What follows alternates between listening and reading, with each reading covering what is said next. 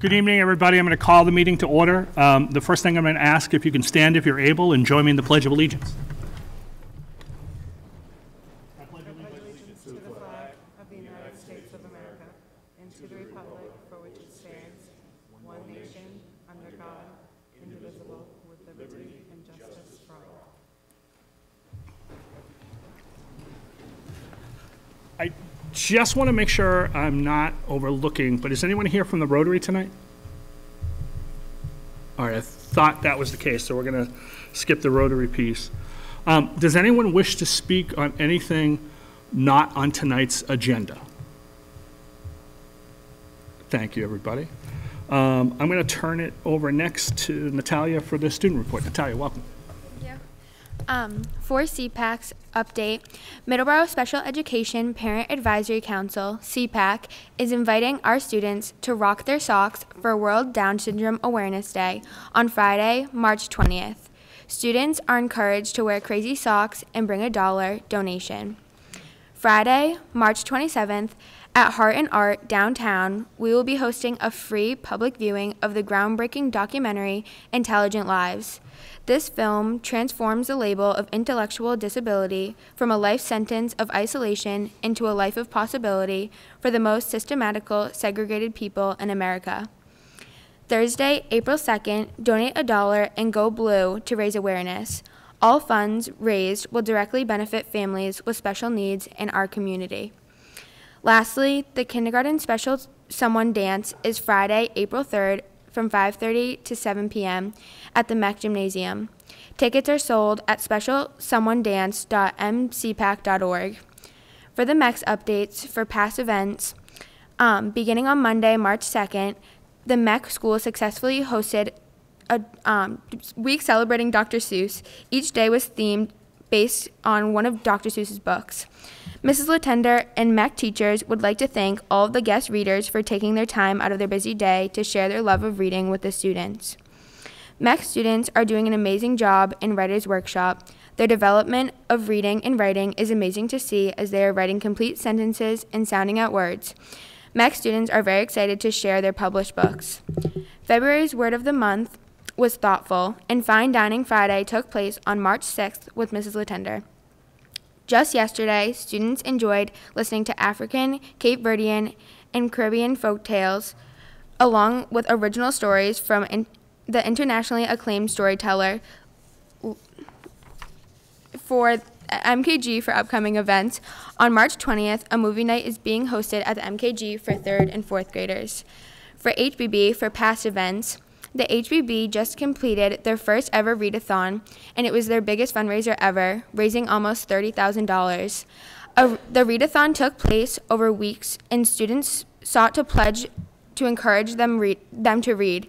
Students earned tons of prizes for minutes for the minutes they read, and money raised and the money that they raised will be going towards enrichment activities, field trips, and Husky Haven, and much more. For upcoming events, beginning on March 16th, HBB Spirit Week next will be next week, and students will be encouraged to dress according to the following themes: Monday, Comfy Cozy Day; Tuesday, St. Patrick's Day; Wednesday, Wacky Wednesday; Thursday, Time Machine Thursday, which you will dress like um, what you want to be in the future, and Friday, Rock Your Socks. The annual spaghetti supper will be hosted on March 27th.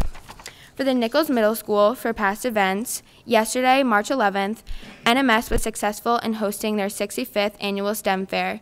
Students placing in the four categor- categories, including the illustrative category, controlled experiment open category, engineering and design category, and the plant based category. For MHS for past events, from March 4th to 6th, a delegation of students from MHS Student Council attended the MASC State Conference, where Middleborough was named a five star council for the 2019 2020 school year and awarded the Gold Council of Excellence for the 12th straight year. These students not only participated in the leadership conference, but also in the Special Olympics polar plunge. For upcoming events, the music program is proud to present their annual Pops concert on Friday, March 13th at 7 p.m. in the MHS Auditorium. Tickets will be $5. On March 20th, students are encouraged to pay $1 to rock their socks as they raise money for World Down Syndrome Day. Thank you. Thanks, Natalia. Any um, questions for Natalia? Thank you. Any member of the school committee wishes to bring anything up at this time? Mr. Rowe? Thank you. Through you, Mr. Chair. I actually have two things, and I was thinking of tabling it until we get through these other items, but I thought these were big enough to let everyone know about this. Um, for those that know, I teach at Rockland High School, which is a rival basketball team. Um, the girls' basketball captain came running into my room to tell me how amazing the Middleborough girls basketball team was as they sat behind them in a tournament game and cheered them on. And it was awesome to see how much she wanted me to pass on her appreciation that they came out to do that to them and support them and show some social league pride. So that was really amazing to have a captain come in out of her way to tell me that. Um, the second thing was I was fortunate enough to attend the Massachusetts Association Student Council conference. And not only did the Middleborough kids prove, like I'd started doing student council in 2004. That's a big reason I moved here was meeting those kids at student council at that annual conference. Um, but also the Ma- the Middleborough Educational Television get a standing ovation from over a thousand students for the work that they did. And we see their work here every other week, and to see them what they pull off in that week is absolutely amazing. So I'm very proud of all the Middleborough girls basketball. I'm very proud of all the kids in student council and MET, and I'm just really proud to be of this town and see it outside this town as well. Thank you very, very much.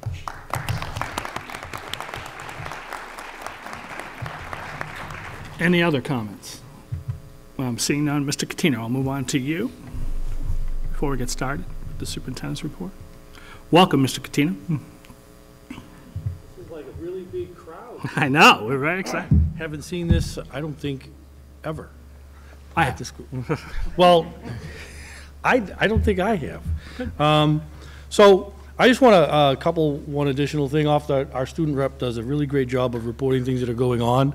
Um, And I don't know if you're aware, but we have um, members on our executive board that go to the parent-teacher um, meetings, and I get information from them about the stuff that was going on. And the, um, I, when I heard the numbers for the, um, for the fundraising effort at the Burkland with the readathon, um, I just want to kind of give people an idea of what the kids at that school ended up having to do. Because she talked about individual kids getting prizes and the money they raised, but they read for a combined 167,000 minutes. That's the equivalent of 116 straight days. That's crazy. That is, a- that is like a ton of reading, and that's just like, I think they all just need to give, you know, themselves a hand, because that's, that's what we need to be doing, and that's what we need to celebrate in our schools, is that kind of effort to, to put forward, and that's, but it was just, a- I was looking at the numbers, and it's like, this is crazy. That was a ton, and it was, it was a great fundraiser for them, and hopefully they can have similar success in the future with that same sort of a thing. Um, And that was, that was just what I wanted to bring up today. Thank you very much, Mr. Catino. Anybody have any questions? We had, we had some uh, teacher conferences this past week, and Uh, yes, we did. how'd they go? Um, I had a pretty full schedule. As a matter of fact, I, I was, every five, every, every half hour, the teachers get a five-minute break. I filled in all of my five-minute breaks, and I still didn't have enough slots for all the teachers that wanted to come to see me. Um, I don't know about the rest of the teachers, but I've got a lot of freshmen, and it's honors, honors geometry, so get to see a lot of them, a lot of parents during that time frame. Um, so for me, it was busy. I like them busier than not. Sitting, standing around there, just waiting and twiddling my thumbs, that's no fun. So, but uh, they went well for me. I think, you know, for some other teachers, they went pretty well. But the March ones are usually pretty good, the October, I think the way we did the format this year worked out better. I don't know about the numbers for the, um, the eighth grade open house that they had. Um, But where we put the two days together in October and had the one day here, I think that they were much better attended this year. And, and getting that flexibility into the contract where the teachers can help guide how they're gonna use those days, I think that that was a good idea, so. Thank you. Any other questions? Thank you, Mr. Catino. Thank you. We're going to move on to the superintendent's report, and can you talk a little about today? Yeah, yeah, thank you, Mr. Chair, and members of the committee and members of the audience. Uh, Today was, uh, was a different sort of day uh, as this coronavirus sort of issue develops in our community and, and within our state and our nation and our world. Uh, It gets closer and closer with every day, as we know. Uh, Today, we had a couple of reports that came to us through uh, the Reeds Collaborative being one. There was a student there that may or may not have had some contact with Utah Jazz players. Uh, he attends the Reeds Academy. He lives in Carver and uh, was playing at a halftime game and may or may not have high-fived a couple of the Utah Jazz folks that, that did uh, contract the coronavirus. Uh, So out of an abundance of caution, I got a call from Teresa Craig, who's the executive director. Uh, This child had no contact with Middleborough students per se, but did cross the border into Middleborough, and she called me as a courtesy.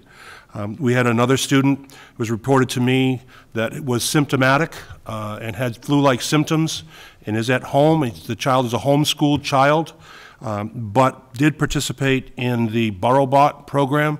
Uh, Mr. Oakley, who's a member of this committee, runs that BorrowBot along with Dr. Melanie Gates. Uh, He has contacted, or at least attempted to contact, all of the parents involved. Um, And again, out of an abundance of caution, I have made the decision that for tomorrow, uh, and a lot of school systems are doing this, uh, we're going to close the school tomorrow for a deep clean of the school system on both Friday and Saturday uh, of this week, and reopen on Monday, scheduled to reopen on Monday unless something further happens with the governor or with the commissioner of education in terms of a longer clause, or longer pause in terms of the school year. Uh, We have had school systems, I know folks probably are tuned in to social media and the news, and uh, there are school systems like Everett that have canceled until April vacation. Uh, There are also schools that have canceled for one or two weeks at a time. Uh, Natick was one week and possibly two weeks, and some other communities that have had coronavirus in their towns.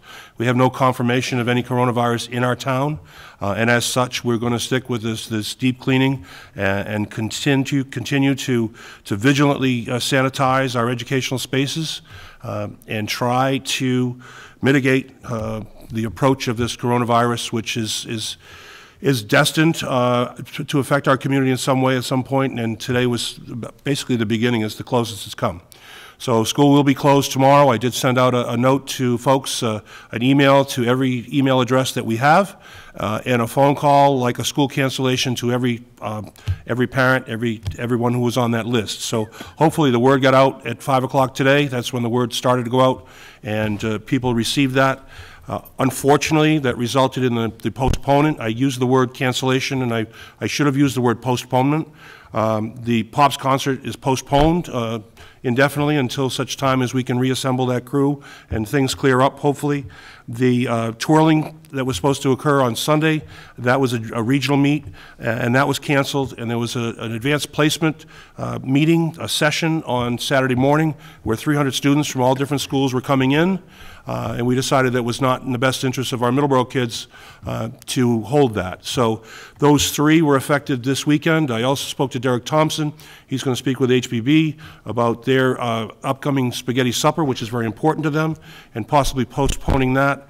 Um, The uh, special someone screening at the uh, dance at the MEC is another uh, social gathering that may need to be postponed because the governor and uh, everyone else is, is basically telling us that it's, it's best to stay away from these large group gatherings. Um, How this affects things down the road, I don't know. We hopefully will have the Pops concert, very, it's very important. I know the, the folks in band, orchestra, and chorus have been working for three months, uh, rehearsing and practicing for that very special evening. I remember being in the Pops concert myself as a young person, um, but uh, in the case of, of the current world and the, the current community we're in, in terms of the coronavirus, I felt it in the best interest of the school system to postpone uh, those three events this, this weekend, and to conduct this deep cleaning. Um, Myself, the chair, uh, met with uh, Mr. Hutchinson, James Hutchinson, our facilities director, at length today, going over a detailed plan for cleaning, and uh, with our expectations, and, and his, his expectations are consistent with ours. So uh, that's the current status of the situation. Uh, We don't know how it's going to evolve down the road. Uh, Like I said, there are school systems that are closing for one week and, and two weeks. Uh, The governor has advised certain things, but the commissioner has said you, you know, you go your, your 185 days, if you will, so you get to the end of that calendar, uh, and then nothing else would count against us, um, but we really want to get and maximize our school year, certainly with as many school days as we possibly can. We're not sure what will happen with MCAS. I was at a luncheon with a number of superintendents yesterday at the uh, Upper Cape Vocational School with the Commissioner of Education, and he said uh, a lot of these things continue to be local decisions, but at some point, he may need to step in at the direction of the governor and uh, make decisions statewide. So that's how it's left right now. Uh, Again, local decisions, uh, but the advisory from the governor and the commissioner uh, is to adhere to their suggestions with regard to guidelines that they've developed. So that's where we're at right now, and I would certainly invite any public comment for anyone that wanted to come down and speak to this, but uh, it's a decision made in the best interest of our students and our staff, and in the best interest of our school system and our town. So, um, and I'll continue to do those, uh, make decisions based on that. Any questions about that, or comments? Chair. Please. I completely support what you've done. I think we can all understand it's not an easy decision. And uh, when I heard, heard it today, I got the call like everyone else, and uh, I appreciate, it's not an easy decision to make, but I believe it to be the proper one. Because I had talked to Mr. Hutchinson yesterday at a meeting, and over and above everything else, they had already been doing additional, um, brought in some additional staffing We brought in as some necessary. additional, we br- brought in some additional substitute custodians in the evening to continue to, uh, Yeah. not just spot clean, but deep clean. Right. So we've been doing it all along. It's just now we- we've really got to go through and just hit it hard. Yep. And we're looking for additional substitute custodians if there's anyone out there who would like to uh, apply for that and meet with Mr. Hutchinson, because we have some, some uh, sanitizers coming in that are going to be, go through a rotation coming up as soon, hopefully we'll receive them tomorrow. They're electrostatic machines um, that are, that cover everywhere so that we can hit all of our one-on-one computer tablets and, and without in- in- injuring or endangering them. Um, And so it's one of those situations where we'll continue to uh, be vigilant and get the latest uh, equipment in here that we possibly can to uh, sanitize our, our spaces. School still is important, uh, it's still vital. Uh, They're, they're not taking away the MCAS, they're not taking away any of those, any of those tests, they're not excusing anyone from anything at this point. Um, So we need to try to, to maximize our school year. It's important for parents too, because uh, tomorrow, I, I probably just sent uh, half our families, if not more, uh, into sort of uh, panic mode, especially if they have younger ones, in terms of who's going to cover and who's, who has to take a day off, or where the children are going to go, uh, and that's a difficult thing to do, especially when it's mid to late March, and you're, you're, you're getting to the point where you're thinking snow days are all done, and maybe those plans are set, Uh, but that's where we're at, unfortunately. So, and, and certainly more to come, and I'll try to, uh, we're trying to uh, find uh, a a place weekly that we can communicate, trying to figure out a day, whether it's Wednesday or Thursday, that we can send out an update, uh, and we'll continue to post on our website also. Any other questions? Greg? Through you, Mr. Chair. Um, So the MCAS one, that is very interesting, because if you look at a lot, of number of communities that you mentioned, they're canceling school, and those students will be missing MCAS. So I'm very interested to see how the state is going to react if half the state is taking MCAS, because a lot of people in this audience probably have taken that MCAS where it's like, fill out this date on this time, and they want the MCAS done at the same time everywhere across the state. So it's Exactly. very interesting to hear how those updates will go. Um, Also with the MCAS scores, I was happy to hear the state did think ahead and started to excuse absences um, if students miss after, I believe, March 2nd. Is that correct? Beyond March 2nd. Beyond uh, March 2nd. Yeah, there's, there's a formula for absenteeism. It's called chronic absenteeism. And if a student meets a certain sort of quota with regard to dates missed, it, it's subtracted from the school's scores. So when the school report comes out for that school, you lose important points that bring you to a point where your, uh, your, your scores come out in your school, and it's a reflection of your school, chronic absenteeism. So anything beyond March 2nd is not going to be counted against that chronic absenteeism at this point. And that's, I thought that was a good move by the state to kind of do that. Um, Also, um, with staff and students that possibly could be more at risk for this virus, is there a policy for those students or staff? This would, that would be an individual situation, individual parents uh, addressing principals and, and faculty addressing me in terms of their concerns. Uh, You know, we know, we've identified a group of folks, we don't have a lot of teachers over 60, uh, but we do have folks that have ailments that make them more susceptible um, to coronavirus, has been outlined by the CDC, et cetera. Uh, So that would be, that would be on an individual basis, but I would certainly consider uh, any faculty member that had concerns for their own health um, or parents with concerns for their children's health. All right, thank you, sir. Yeah. Mr. Chair? Yes. I- If, if possible, it would be nice if we did have an update, say Sunday night, posted, even if the- it's, nothing has changed, just so that we can say nothing has changed. That way there, we know that even if, even if nothing's changed, we'll know Sunday night, everything, Monday morning, we're going to have school. I wouldn't send an all call, but at least post it, um, if you wouldn't mind. Yeah, I can certainly do that. And that. that way there, it's, where people are, if they want to go and look, they can look, and Well, if we send it out on the disc, I could, I could send an email to everyone. That's, Right. that's a short email that we could certainly blast out to, to every parent on that list, uh, and get word out to them, excuse me, um, about Monday. My, my belief right now is that we'll have school on Monday, uh, but we have to see what happens. Um, The student that's homeschooled on Highland, that had some contact with the, the folks in Borough um, we're looking to find, uh, some type of a finding from a doctor that says negative or positive. Um, Certainly, if it's negative, it changes things, and obviously, if it's positive, it changes things. Uh, So, that would, if it's positive, we'd certainly be looking at some self-quarantine for some folks, and um, students that had contact with this student. Uh, So we'll hopefully get a doctor's note or some input. They're technically not one of our students, uh, so we're reaching out, and the, the family has been very cooperative. It's, it's not a question of that. Uh, It's just a matter of finding that, hopefully, that negative test result. So take a deep breath and, and uh, move on from that. Uh, But again, it's that big question mark that looms with regard to the status of this young person. I, you know, I hope and pray for this young person that the person remains healthy. Uh, Mom had been sick a couple weeks ago. Younger siblings had been sick a couple weeks ago with something that might be going through the house. So we're sort of not hoping that that's what it is, but hope he gets better tomorrow. But if that's it, then it's probably the flu slash cold. Uh, and but I, I'm not a doctor, so and we leave that up to the medical professionals. thank you. Other questions? Okay. Um, I I do want to make mention, because Mr. Oakley asked me to pass this along. So Mr. Oakley, who's a member of the school committee, is not here tonight, and he wanted to explain why and asked me to read this, and so I will. Out of an abundance of caution and because of potential contact with high-risk population, like older folks and those with heart-lung conditions or already- already depressed immune systems at the meeting, I am holding myself out of tonight's school committee meeting because of an because of exposure I believe I had to an as yet unconfirmed person exhibiting some corona-like symptoms. So he wanted people to know that, and that's why he's not here.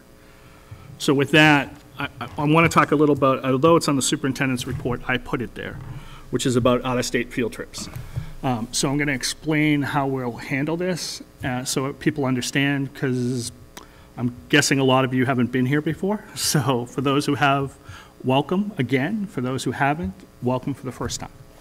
Um, So what's going to happen is we're going to have a, a brief discussion. We're going to split them up into the three field trips of concern, which is as follows. The band trip would go first, followed by the senior trip, and followed by the international trip to Greece. Um, We'll talk about those individually, so I'm going to have those conversations one-on-one. Part of the reason is because individual members of the school committee will have to recuse themselves from pieces of those discussion, and that's why. Um, When we have that discussion, uh, I'm going to make a brief presentation to the school committee uh, based on information I've had and people have asked me about. Um, And then I'm going to open up to them to questions, and then I'll open it up to comments or questions from all of you. Um, I would ask that you come down to the table and make your comments and questions at the microphone. That way it's recorded and the people who this is being recorded for can hear what you're saying. And also it makes it easier for our secretary to hear. Um, Just so people understand why we're doing this. Um, First and foremost um, is this for me. The school committee decides and has to approve each and every out-of-state field trip. And that that doesn't matter if it goes to Roger Williams Zoo or if it goes to Japan. Um, So it's our responsibility with those field trips. The other piece that I didn't like, and as I'm sure you all know, other districts are canceling field trips um, throughout the region. The vast majority of those districts have either had the superintendent cancel it, or the, the school committee has canceled it, with really no public input. Um, I don't think that's fair. Um, You're the ones who are involved in those trips, so we want to make it an opportunity for you to speak.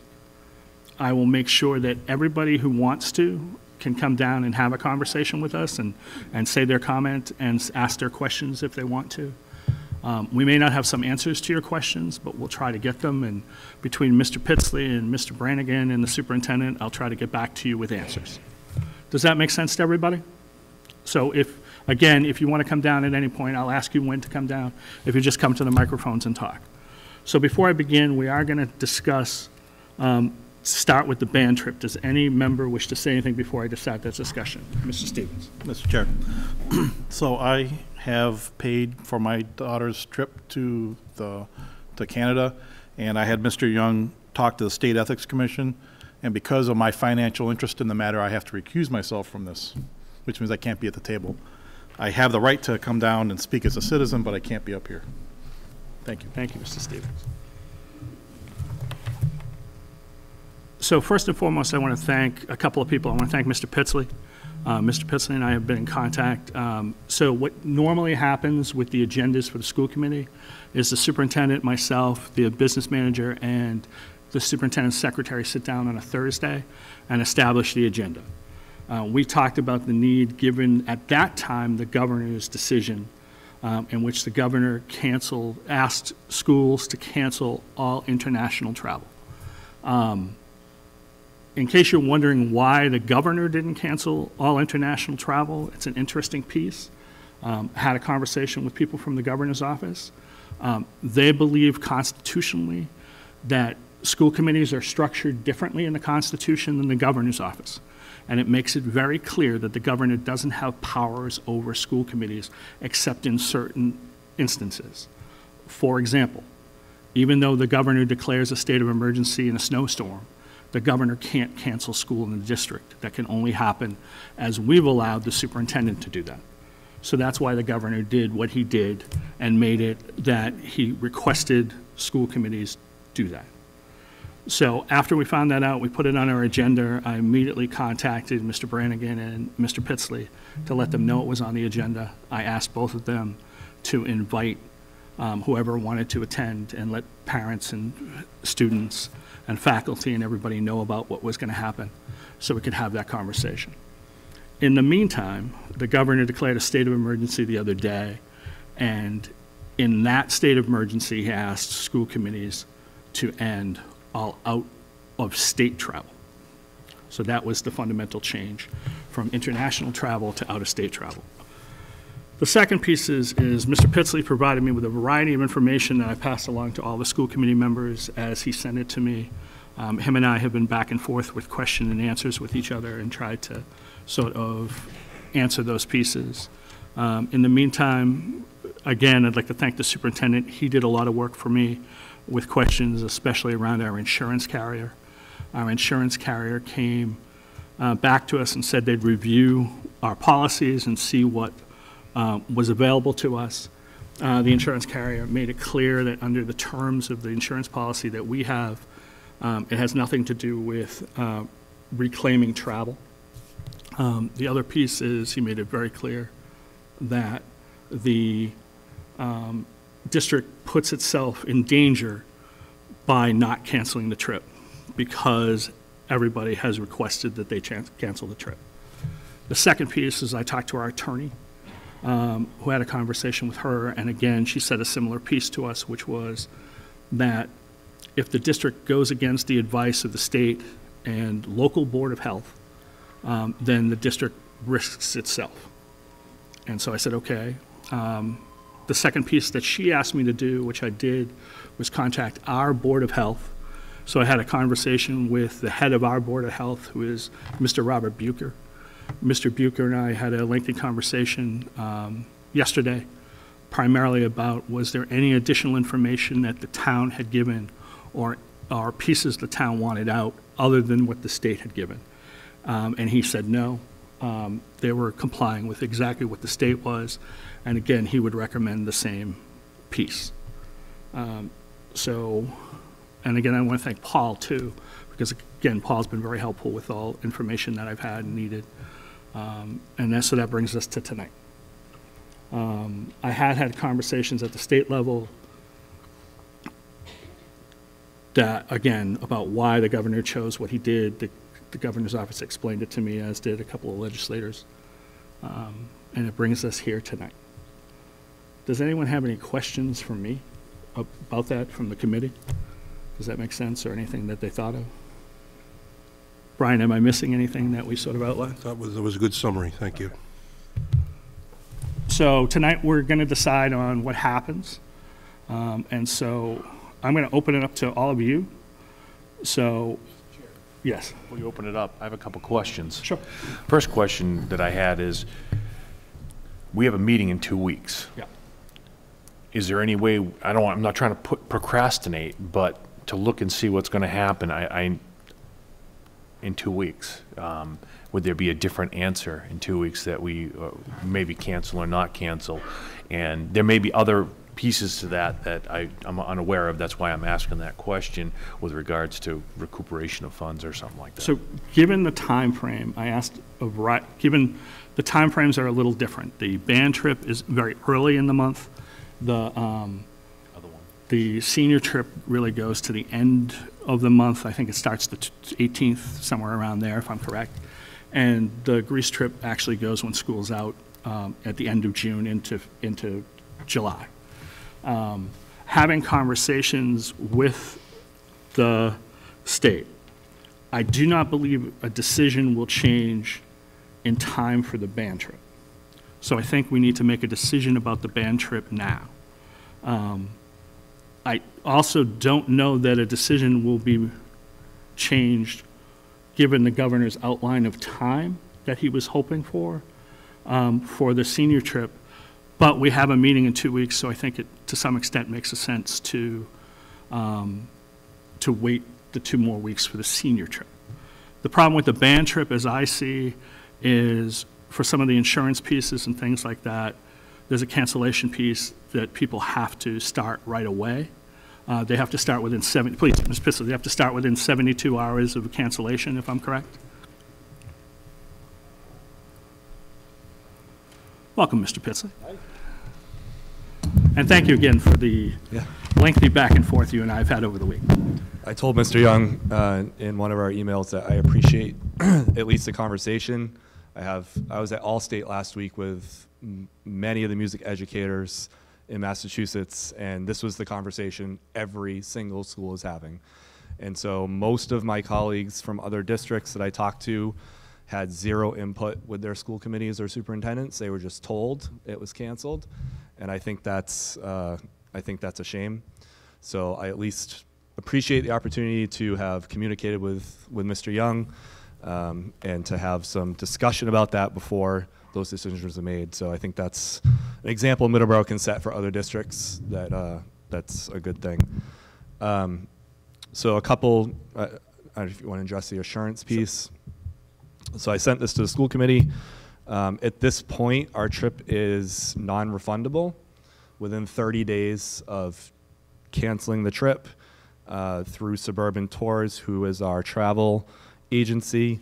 Uh, through them, it's non-refundable. So regardless of whether that decision was made any time in those 30 days, it doesn't matter. Uh, then it comes down to the insurance piece to that. And so we have some students who have the insurance that purchased it. It's optional. So some chose to purchase it and some did not.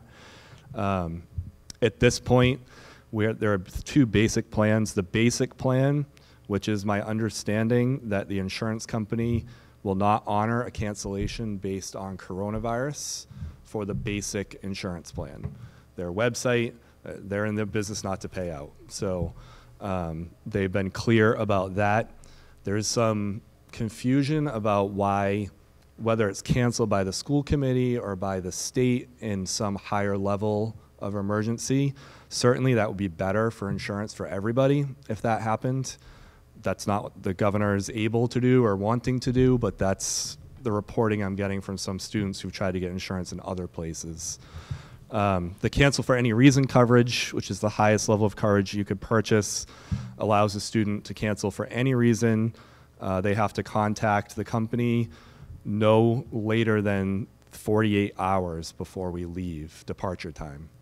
So they have 48 hours. Um, they have to cancel by that mark, and then they get up to 75% of the cost back for the trip. So at this point, just to, and obviously the committee needs to do what it needs to do, there's no benefit in terms of financial loss for canceling tonight. Um, if there are other factors, there are other factors, but financially, waiting two weeks wouldn't make any difference at all. I ta- contacted the uh, travel agent. She said March 27th would be the date that she would want to know by, just to make sure that families have that window to contact. And so that's the information I think I passed along at some point. Um, you know, canceling the trip obviously has the opportunity loss uh, for for students. Um, I think you can tell that uh, these are a significant event for students. Uh, it's a really important event for students. I understand the reasons what we might need to cancel, but it is important to them. There's a there's a large financial loss canceling this trip. Um, I sent the school committee some information about that, but it, we have 29 families who will lose the entire amount uh, based on how this gets canceled. That includes four families who have more than one student um, who are going on the trip. So that's a significant loss for those families. Um, and so those are some of the insurance pieces as we see them now. And we went back and forth with the insurance company trying to get more kids covered. I contacted, contacted them February 28th before all this hit the news as much, you know, in terms of all this this window. And she said, "All right, let's try to get them all covered." And so we put out information trying to get kids covered. The insurance company came back and said, "Well, no, no, no, this is really spiraling now." And so we're going to honor the original terms. So there's some confusion there trying to get kids covered. Uh, some kids were able to get private insurance through AAA or some other places, uh, and hopefully some more are able to take advantage of that. But I was told tonight by some that it depends on how it's canceled, on whether they get insurance back um, at all. And so I don't know the answers to those questions. Okay, let me ask you this question then. Yeah.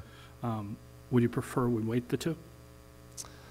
If, I'm asking. I wouldn't presume to tell all No, of no, you I'm what to do. I think that if there's no legal problem or anything else on your plate other than just leaving it, the only person it makes more work for to wait the two weeks is me. No, that's, that's why, Because what I have to to, be honest do with you, is that's what I figured. I wait two weeks, that's and that means asking. I have to plan as though we're going.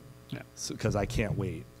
Um, I'm prepared to do that. I think it's important enough to these students and these families. I think they're here tonight to tell you that. I'm, Yep. I'm presuming.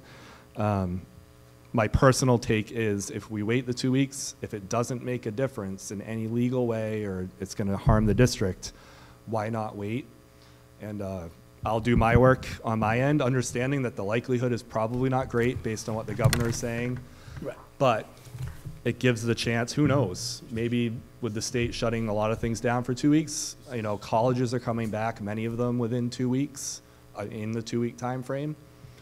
Maybe this thing goes away. Doubtful, but Mr. Chair, with regards to, that's why I asked this question, is if it doesn't make a difference, the difference could be either the government, the federal government shuts down the Canadian border. I mean, Justin Trudeau is self quarantining himself right now because he may have actually contacted somebody. But the, the piece would be is if it may make a difference for insurance purposes if the federal government shuts things down versus us making this random, not random, but this appearance of a random choice to turn it down. And I was thinking, I've been thinking about that since I've seen some of these emails. Yeah. That that's why I was waiting. Can we wait till?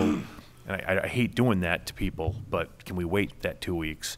And honestly, uh, that, that was my biggest, biggest piece is understanding the writings on the wall for this trip. right, I think it's obvious. I think people have known that. But how can we do the best we can for our families who are going to lose their funds? Yeah, I And mean- it- it's it's a tough situation for them. It also hurts the music department's ability for future trips because people get hesitant. They'll learn from this year, and hopefully, you know, that's a positive thing that we learn from things going forward. But at the same time, you might have some families that say, "I'm not going to take that risk next year, or I just can't afford to because I lost all that money last year." So if we can wait two weeks and recover any money or give at least that chance, to me, that's that's a positive thing to do, as long as that's not going to hurt the district. Um, The other piece that I want to make everyone aware of too, and I should have mentioned this as part of it, um, one of the good things was the state, uh, Massachusetts Association of Superintendents um, came together and they put out a letter. Essentially, um, the letter goes to a wide variety of people, as you can imagine, but it's, it's the people who do the tours, uh, primarily right now. And the conversation is, as everyone knows, certain tour companies get used by districts more than other tour companies. Um, and so it essentially lays out if they're not willing to um, help the families if programs if things have to be canceled, then these districts will be looking for other tour companies, not necessarily the same they've used over and over again. And it sort of puts them on notice to say, we're going to do this as a group um, and say, if you, if you don't handle our families correctly, then we have no choice but next time to look. So I did want to point out that because I think that's important. And I think a lot of superintendents came together to put it up as a. Almost as piece. Yeah, and so that was good. I think that's a, a positive thing. I've talked to our company a lot. Suburban Tours has been fantastic for us. Um, they, everything we've needed, they make our trips seamless. We come back here every year and ask to go again to somewhere else, and we come back with the experience these kids have, and we have very, very minimal trips, problems, and Suburban's a huge piece to that. Um, I've spoken with them. They're they're looking at what they can. Uh, they're not based in Massachusetts, so it's they're out of Rhode Island, um, but they are are they do a ton of student travel. But on their end too, it's difficult because everybody's canceling, and it makes it very difficult on their end um, when they're primarily a student travel group. And so I understand some of their perspective they're taking. I also understand that you know anything we can do to create good business with our families and our schools is a good thing. So I've been in a lot of conversations with them, but I'm bringing the information I have to you as it is now. Mr. Chair, through you, uh, Mr. Pitsley, have they offered, uh, like some of the other companies have, any type of a voucher? As for example, this $900 that folks are paying on this trip, have they offered any type of a voucher saying, all right, here's a $900 voucher to use as a family to go to Washington DC, or as a family to go to Quebec when this thing clears up, just in case this band trip doesn't go through? So I know EF Tours is at the point where they're talking about vouchers, mm-hmm. half, half, half the cash back, but a a full voucher for travel, and, and, but I'm just wondering about Suburban Tours and if they've mm-hmm. taken a position on that. So far, they haven't. They haven't reached out and asked about that. Um, our conversations have very much been monitoring the situation, and it has escalated so quickly that it's really changed really fast. And so, in my position as as a teacher and director of the tour, it's very difficult to try to have those constant conversations with them. Right now, it's been mostly like, how do we figure out what's going on? Can we change our tour in any way? I mean, we're going to a place, we're, we're not going out in public per se, like we're not going to a big event somewhere. So we've been talking about those kinds of things. That's something I can discuss with them going forward. Um, but right now, it's just kind of been a rush to the finish line to figure out what's going on. And, and that's certainly, if we wait two weeks, that's something I can certainly go back and say our committee is likely going to cancel, but we're going to look at the two weeks and see if anything changes and what can you do for us. Um, refundable costs, vouchers, or, or whatnot. Thank you. Anyone have questions for Mr. Pitsley? Greg? This is more of a question for the district than for Mr. Pitsley, but um, through you, Mr. Chair, uh, Mr. Pitsley brought up the fact that there's kind of this loophole in the insurance, which you brought up earlier, like, they only give the money back if the state cancels the trip, but the state says they can't legally cancel it, it's gotta be the school committee, so that's almost a loophole. If there was some way to get an attorney to pursue why that loophole is there, would that be the responsibility of the band, of the school district, of the superintendents? I, I don't know. To be honest with you, I've had a conversation with a few legislators at the State House to, for this very conversation, which is about the governor's interpretation, which I think is a reasonable one at, at- that they present. And the same token is why they need the schools to do what they need to do, and they're only recommending as opposed to saying. I, I really don't feel, from a state perspective, from what I've heard, that the state is going to say no because they don't view it, again, at the local level as something they have control over. Um, The pieces that they believe they have control over are higher ed. Um, So the UMass system, obviously, they've made determinations based on that, those type of things. But that's, that's where they're at right now. As far as if a legislator makes some sort of change, I don't know. I've had conversations briefly about sort of this, the whole pieces that we're involved in, as have other superintendents and other school committee members in their districts, so they are hearing it. And MASS sent a letter out to all the legislators too, having that same conversation.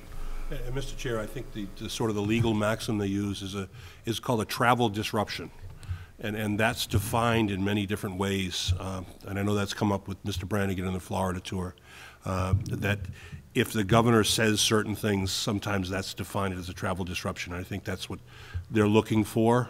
Um, I think they're depending on more of a, a sort of a either the presidential or governmental um, sort of interruption saying we're canceling travel out of state, out of any state, uh, you know, closing down the country, if you will. Mr. Giovanni mentioned that earlier.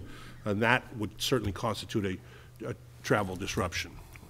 Can I ask a question? Sure. Um, can we, or ha- I'm sure we have, but can we ask our legislators to advocate for that with the federal government to say, I don't know if they have the authority to say student travel in the best interest of everybody is canceled across the board or for regions? I mean, these are, it's the question could come back and the answer is no. I'm not, a, I don't know anything about the, the legal aspect of it, but at least our legislators could be active in lobbying I can have for the that. conversation with the congressman's office tomorrow morning, that's, and so you and I can get together after we had that, that's not an issue with that. And through you, Mr. Chair, I I have a phone conference this, tomorrow morning with the commissioner, uh, and I think the governor is going to be on the line, along with all the other superintendents from Massachusetts, the Department of Public Health, and as this situation evolves, is obviously as the situation is getting worse, not better, uh, and I think that there may be more directive from the Massachusetts government on what to do, and uh, hopefully there's something that definitive that comes out, so, Definitive would be great yeah. at this point. For everybody. I'm asking you to wait, but also to have answers to, I, I, I don't know the ins and outs of a lot of these things, so you've been great to get us that information as, No as it comes up. I'll have a conversation tomorrow, I can do that. I can start that tonight, and we'll set that up. Other questions? Just for timeline purposes, so to the 27th is when you would have to cancel by?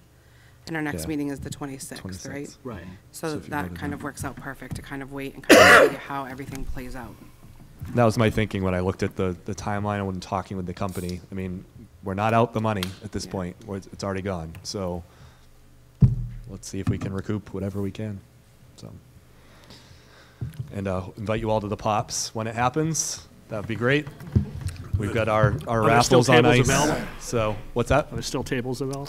It's in the auditorium this year, uh, so there, there are no tables, but the room's all set up if you want to go stop by and see it while they're cleaning it, because it's all set for tomorrow night, so. There's nothing in the raffle prizes that might spoil? No, except, yeah, I don't think so, no. We'll just hold them off and hopefully be able to reschedule. Mr. Chair. Yes. If for some reason we're unable to reschedule the Pops concert quick enough, I would love a simulcast of it, at least. Yeah. I, I'm, I'm serious about that. I, I was talking about that too, because my, both my kids are in the band, and they said they were devastated about not, after all this work that they've done, um, to not be able to perform.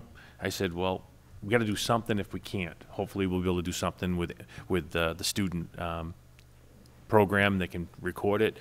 Um, I've actually re- watched others before anyway over again because they're cool.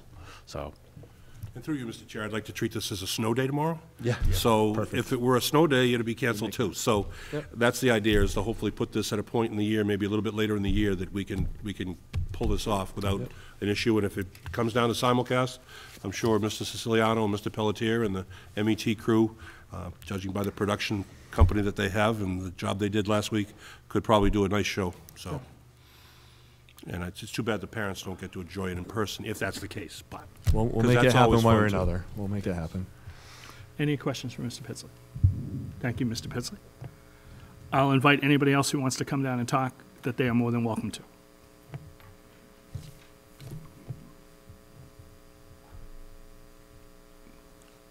Nobody? Again, we're talking the band trip. So what I would suggest to everybody is this, we will make a, dec- yeah, please, come on down. I, if you could just state your name and your address for the record, thank you.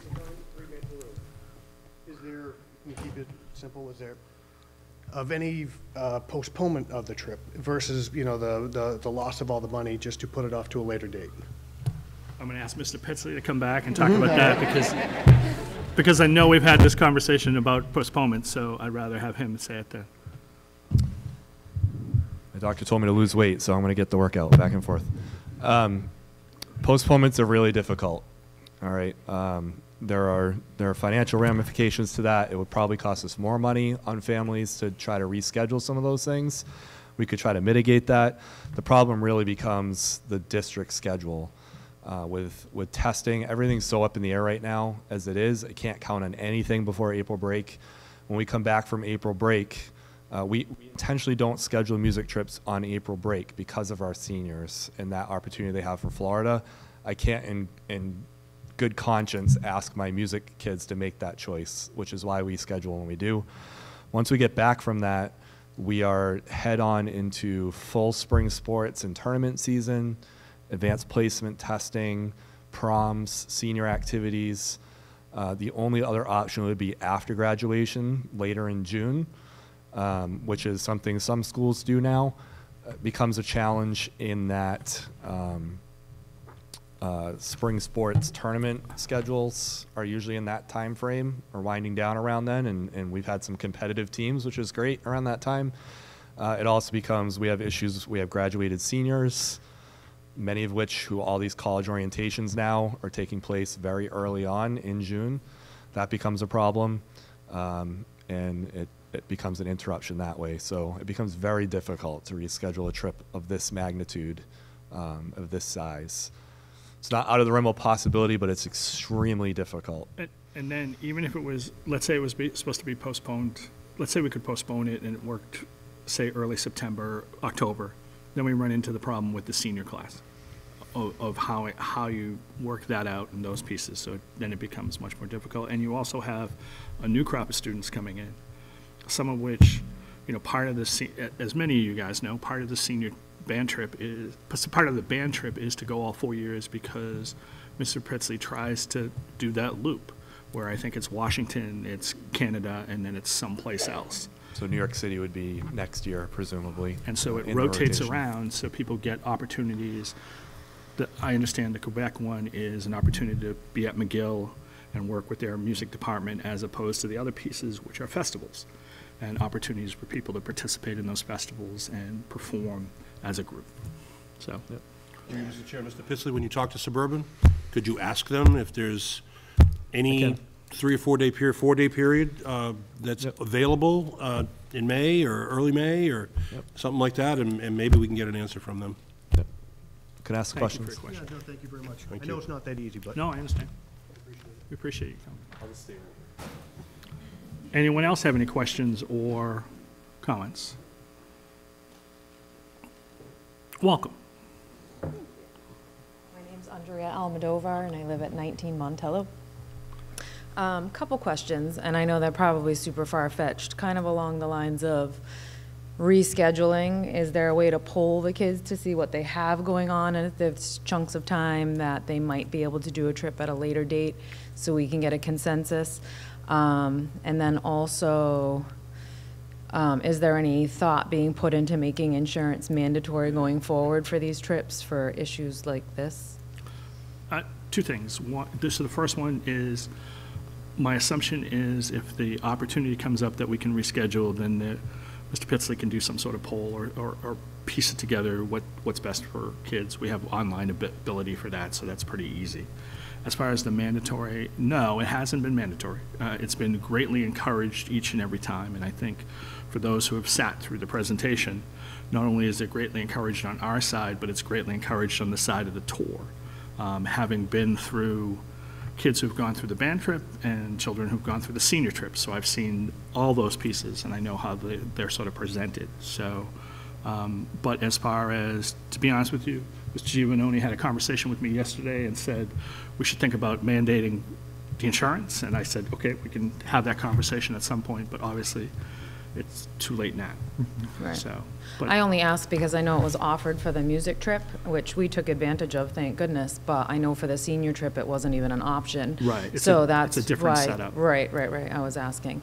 And then the other question I have is, um, is there any condition, I mean, I know that you're looking to get people's input, so if you were to poll the parents and the students to see if they want the trip to go, to go on, and pretty much everyone said yes, would you still consider that, or you're making a decision based on fallback from, like I, like Mr. Pitsley, I don't presume to know what you guys have on your end as far as liabilities and, and all that stuff. So, yes, I mean, this, we take the input of parents and students, um, and I can't emphasize that enough.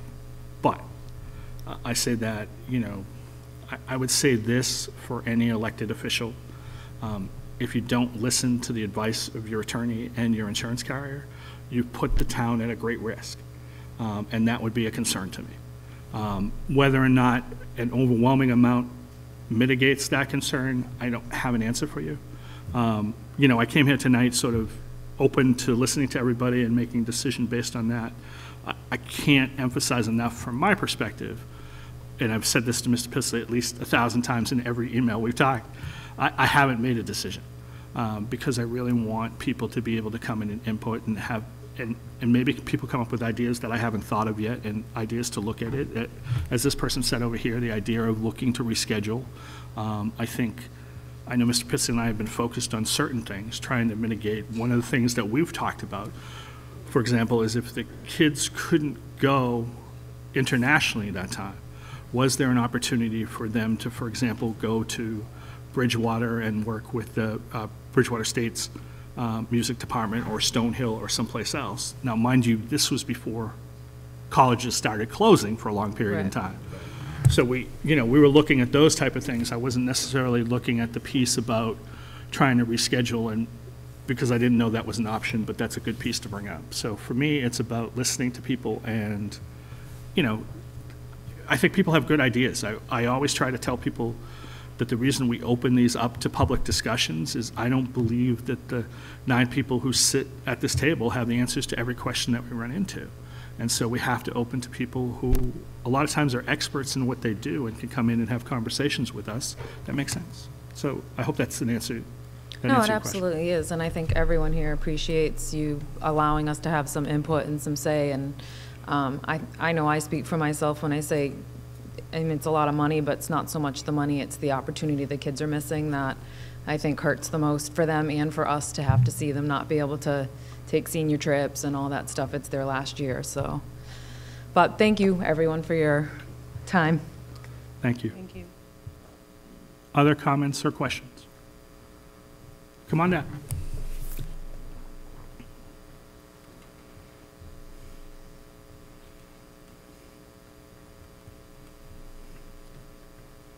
First of all, welcome. I just wanted to say a few words about like how the trips have affected me. Could you just tell us who you are? I'm Lost Korea. I live on Seven Maple Road.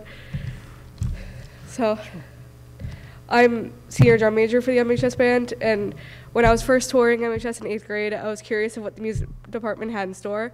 I was lucky enough to get to tour, get two tour guides who were heavily involved in the music department and had a lot to say about the opportunities it, opportunities that it offered. Even though I was hooked from the start, I, had further, I was further motivated when I found out about the annual, annual trips. Going into high school, I knew that I would be given new opportunities to make a name for myself. When the New York City trip rolled around, I didn't only step out of my comfort zone, I dove headfirst into a world outside of everything I was used to. I didn't have to worry about what others thought of me. I was surrounded by people who care about me, people who pick me up when I feel down, and are always there to support me. Since then, I've been to Nashville and Washington, D.C. with the music department. With each trip, I learned a different lesson about myself and the people around me. The music trip is so much more than a vacation. It's a once in a lifetime opportunity. Without it, I wouldn't have broken out of my shell freshman year, and I wouldn't be able to make the lasting connections I've made with my peers. Canceling wouldn't only take the final trip away from the seniors, it would also keep the freshmen from taking risk and getting a taste of the real world. I wouldn't be the person I am today without that fateful New York trip, and I hope this year's freshmen get the same opportunity that I did. Thank you. All set. Thank you.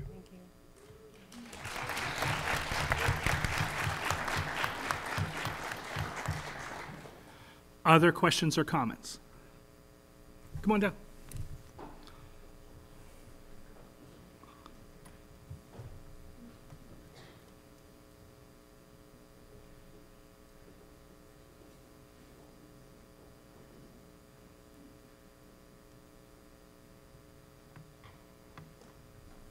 Welcome. Thank you. Um, I'm, I'm Brendan Lenahan. Um, I'd just like to say that I've had family in this town for years.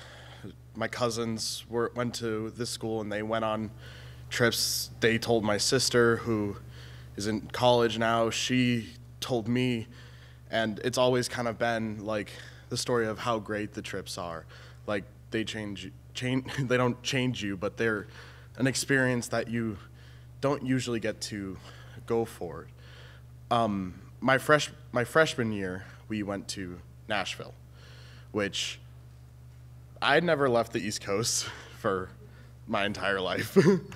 and to get the opportunity to go to Nashville and to see that was inspiring, to say the least, as a freshman who wasn't sure what he was going to do for the rest of his like high school career. Like I thought I was just to cruise along in band or maybe not even finish band and sure enough I ended up in choir. Um, but I when I joined choir, I kept going back to those trips because I went to DC because of that Nashville trip, that first trip.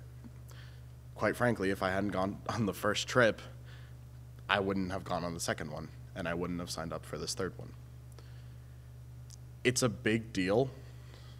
I'm not I may not be a senior, this may not be my final trip, but I'm I have so much social activity with the seniors that I've seen how it affects them. You will see a, quite a few not so dry eyes in the back there because people are scared. They, this experience has happened for three years now for most of them, and it's their final hurrah, to say the least. Now, I know the Pops concert was a decision that was rightfully so, but a lot of them worry just with that, and it put a lot of worry on tonight when we originally thought this decision was being made. So I kind of wanted to put my two cents in to say that a lot of these seniors are going through so much stress in this one week alone. I'm so glad that you guys talked about pushing it back two weeks, but so many of these seniors are scholarships were this week if you weren't aware a lot of them have yes oh, oh yes Extended, extended. Ex- extended, but there are there are students who, in especially in our music program, who schools are requiring their auditions this week. Like, this is a important week for them, and to have all this worry placed upon them as seniors of this final trip is has been overwhelming, to say the least. Now, if some of them want to speak for, on their own behalf, that's up to them. But I just wanted to say a few things. Thank you. Really Thank you.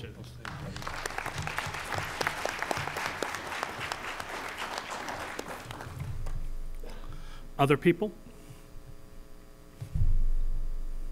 Come on down. Come on, Sue.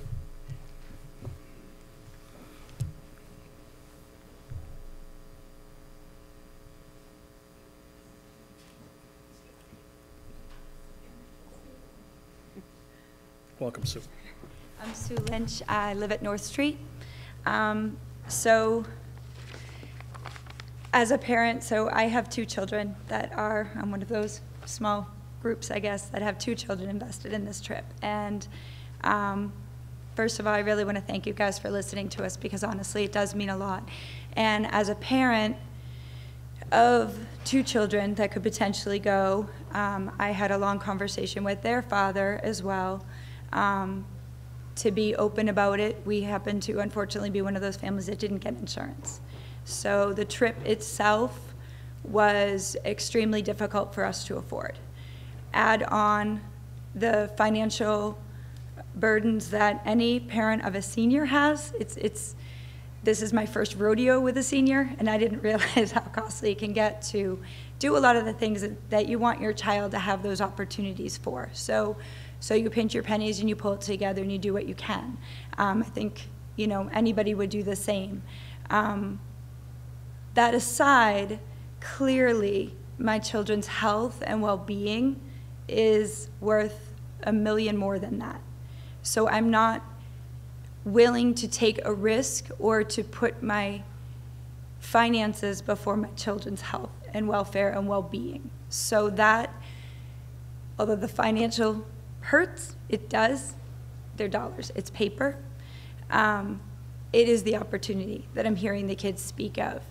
I had a great conversation with um, my children's father, and together, you know, we both sort of came to the same place, which I want to, you know, mention is that we both feel safe with our children going on this trip um, for a number of reasons. Some of the reasons that I feel safe, and I, and I guess I using that term is probably not the term I should say. My daughter went prom shopping to the Braintree Mall. I freaked out. And in my mind is thought, all the germs that are at the Braintree Mall, the pandemic going on, that was more of a concern. The reason that this trip is less of a concern to me is because this is her fourth year, my oldest, and I have a sophomore. I have seen the way that Mr. Pitsley has run these trips. I have, my daughter has traveled to Europe with him.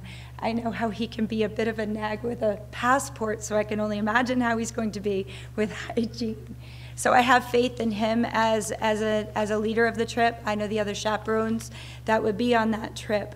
Um, we're sending our children, or potentially considering sending our children from Middleborough High School on a private bus that's not open to the public to an area in our world that has less of the, the coronavirus than other places. We're not sending them to places that, to me, has a great concern. Could that change? Absolutely. It could also change in the state of Massachusetts, but I'm not going to run to Rhode Island. The point that I want to make is that I've made a decision along with their father that I don't want my children to live in fear. Could this be, you know, dangerous for them? Absolutely. But every time my daughter gets into a car and goes off with her friends, even on a sunny day, I worry a bit. I do. It's a hard choice to make as a parent to not worry.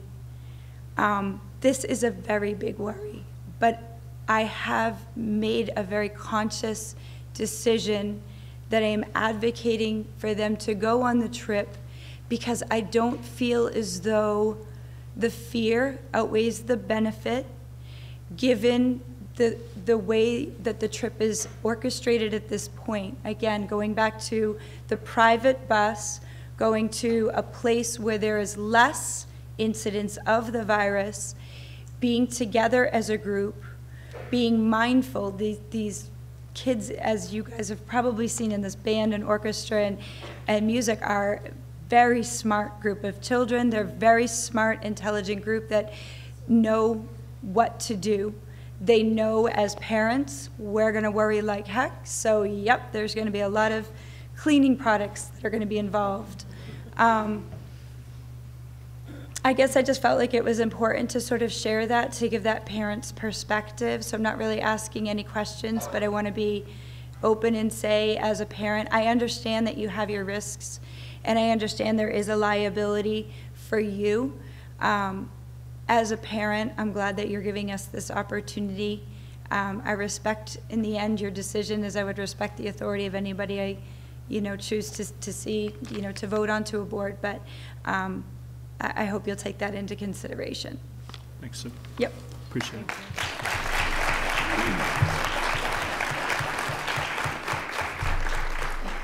Other people want to make a comment or question? Mr. Chair, while she's coming down. I was thinking a very similar piece. Mr. Chair, I was, I was thinking a very similar piece to that. as you'll be talking about Florida next, uh, I was going through the same thoughts with my senior, and um, my question was to myself is, would I sign an absolute waiver and say, I want, if he wants to go, and he and I, and my wife and I were comfortable. My wife jokingly said to me, "Can we get away for a weekend because the flights are really cheap right now?" And it wasn't a joke; she was actually serious. Um, but the the the the uh, the piece is as a parent. Um, I don't know what our liability would be if all the parents said, if this whole room said, our kids are still going, uh, we'll sign the waiver, let's go. I don't know, I don't know if that's even a possibility, but if it was, because I've always, you know, I've always been a little skeptical about travel outside the country. It's always been something I've been concerned with. And my, my concern specifically on this one is, is coming home. Um, with, and I, and I've, and I've thought of this is what happens if we're coming home or the border shuts down except for coming home. One student on the entire bus gets checked at the checkpoint coming in in Vermont and they're in Fort Drum for 14 days. Th- That was one of my concerns.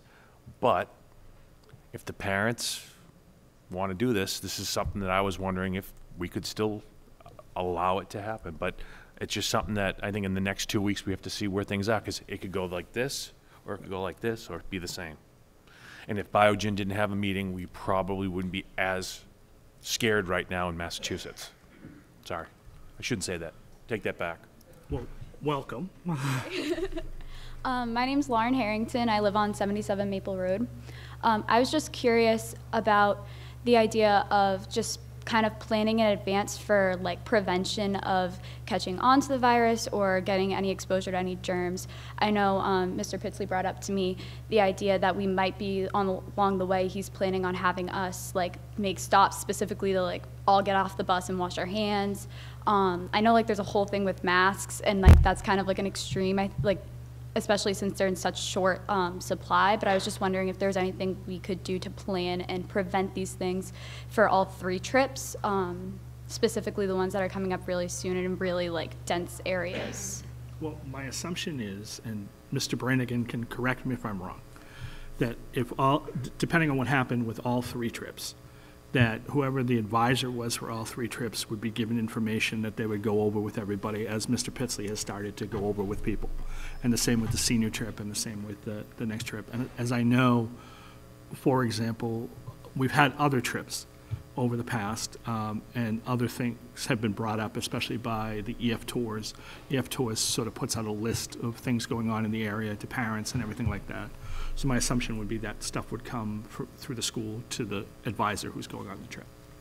So with the idea of like having these set plans, say in two weeks we come back with a set plan of like we're gonna have like these situations where like we're canceling maybe this part of the trip so we don't have to worry about being around a large group of people. And then we're organizing like set like hand washing situations stuff like that. Um, would that help like encourage the idea of possibly going on the trip do you think So what we did, um, especially in regards to the uh, band trip, because when this all started out, it really had to do with the band trip, because that was sort of the first one, and that was the one that they had said no international tours.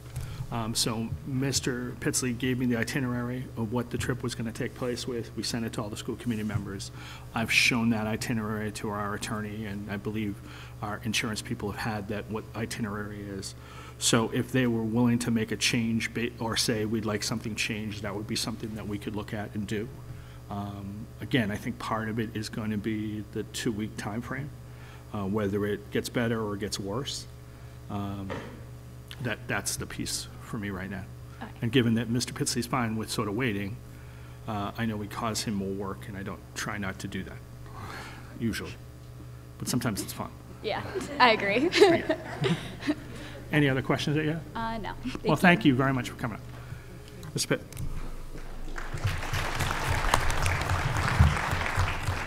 So I didn't, I didn't bring up some of these, these plans. There, there are things in the works. So if we are allowed to go, uh, there's been extensive work that's been done on preventative measures, on what happens if measures uh, with our tour agency, with those things. I put those on pause, waiting to, for this meeting. Uh, but there are many things that I've talked to our company about. I've talked to the school nurse about. Um, she gives me constant information in my mailbox every day with the newest updates. Um, so there are those pieces so that if we get to a point where there's a waiver situation or whatever, there, there is a plan in place for that. Um, and we can answer those questions along the way. Um, there was one other quick piece to that, the insurance question. That's certainly something we'll be revisiting now that this whole incident has occurred this year, is how can we do this better? How can we encourage it more? Can we find a better insurance plan for students? Um, those are things that certainly are something that's on our radar. So just want to point that out. I think like anything else, Mr. Pitsley, sadly, we learn from the lessons that we get and we have to deal with. Don, you had a question, so please come on up. Welcome, Mr. Baldwin. Thank you. Hi, Don Baldwin, 92 Thomas Street. Um, I want to, one, agree with everything that Sue said, and um, actually Brian has said as well. Um, You know, a lot of points that I was planning on making have already been made. Um, One of the questions I was going to ask was, okay, if, you know, the parents said, we want to do this, you know, is there a waiver that could be drafted that protected the town, protected the school, and still gave us the opportunity to go? So, Yes. from conversations I've had with our, our attorney, probably not. And the reason being is it doesn't apply to all of you as much as it applies to what comes back. So if you will, it not only puts us into liability for you guys going out, but if you bring something back and hurt somebody else in the school, a teacher or another student that gets the virus, that's where it becomes problematic. So that, we Okay. had a long discussion about waivers, and as you know, part of the, part of what you get from attorneys is that, well, you can still sign a waiver, but there's still problems with waivers for the most part. Um, But that was her bigger concern too, which was what happens if somebody brings something in. So it- it's twofold to some extent, if that makes sense. Yeah, no, I, I- I do. Back on that question? Then, then can we get a, an opinion from our town counsel as to, or, I'm sorry, our school counsel as to what we're gonna do with, uh, our sports programs? Um, because that's coming up very quickly as well. And we, are we gonna be revisiting sports programs for the entire spring semester? NBA's canceled at this point. Are we, is MIA talking about canceling? Yes. They're talking about canceling MB everything. MIA canceled the championships this weekend. Right. MIA moved back. all the spring. All spring. Yeah. Um, So they, they have, I mean, that's just, NHL today also, Yeah. Mr. Gibonite. Yeah, I know, I And just, Major I League see that, but, And Major League Baseball and NCAA March Madness is canceled. no, they just canceled that? I Yeah. didn't see that. Okay.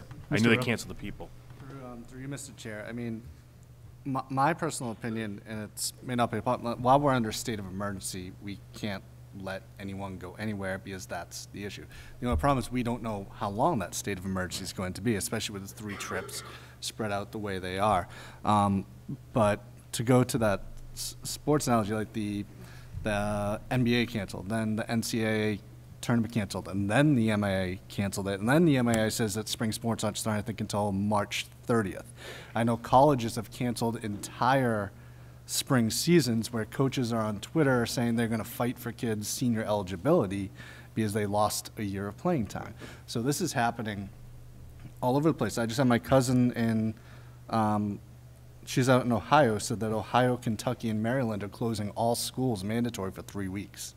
So as much as much as I'm hoping things get better, as much as I'm hoping this is just a one day off on Friday, unfortunately, we're looking at situations where we have to think long term and how is this going to impact. Um, we already mentioned schools in other districts are closing down for two weeks and things like that.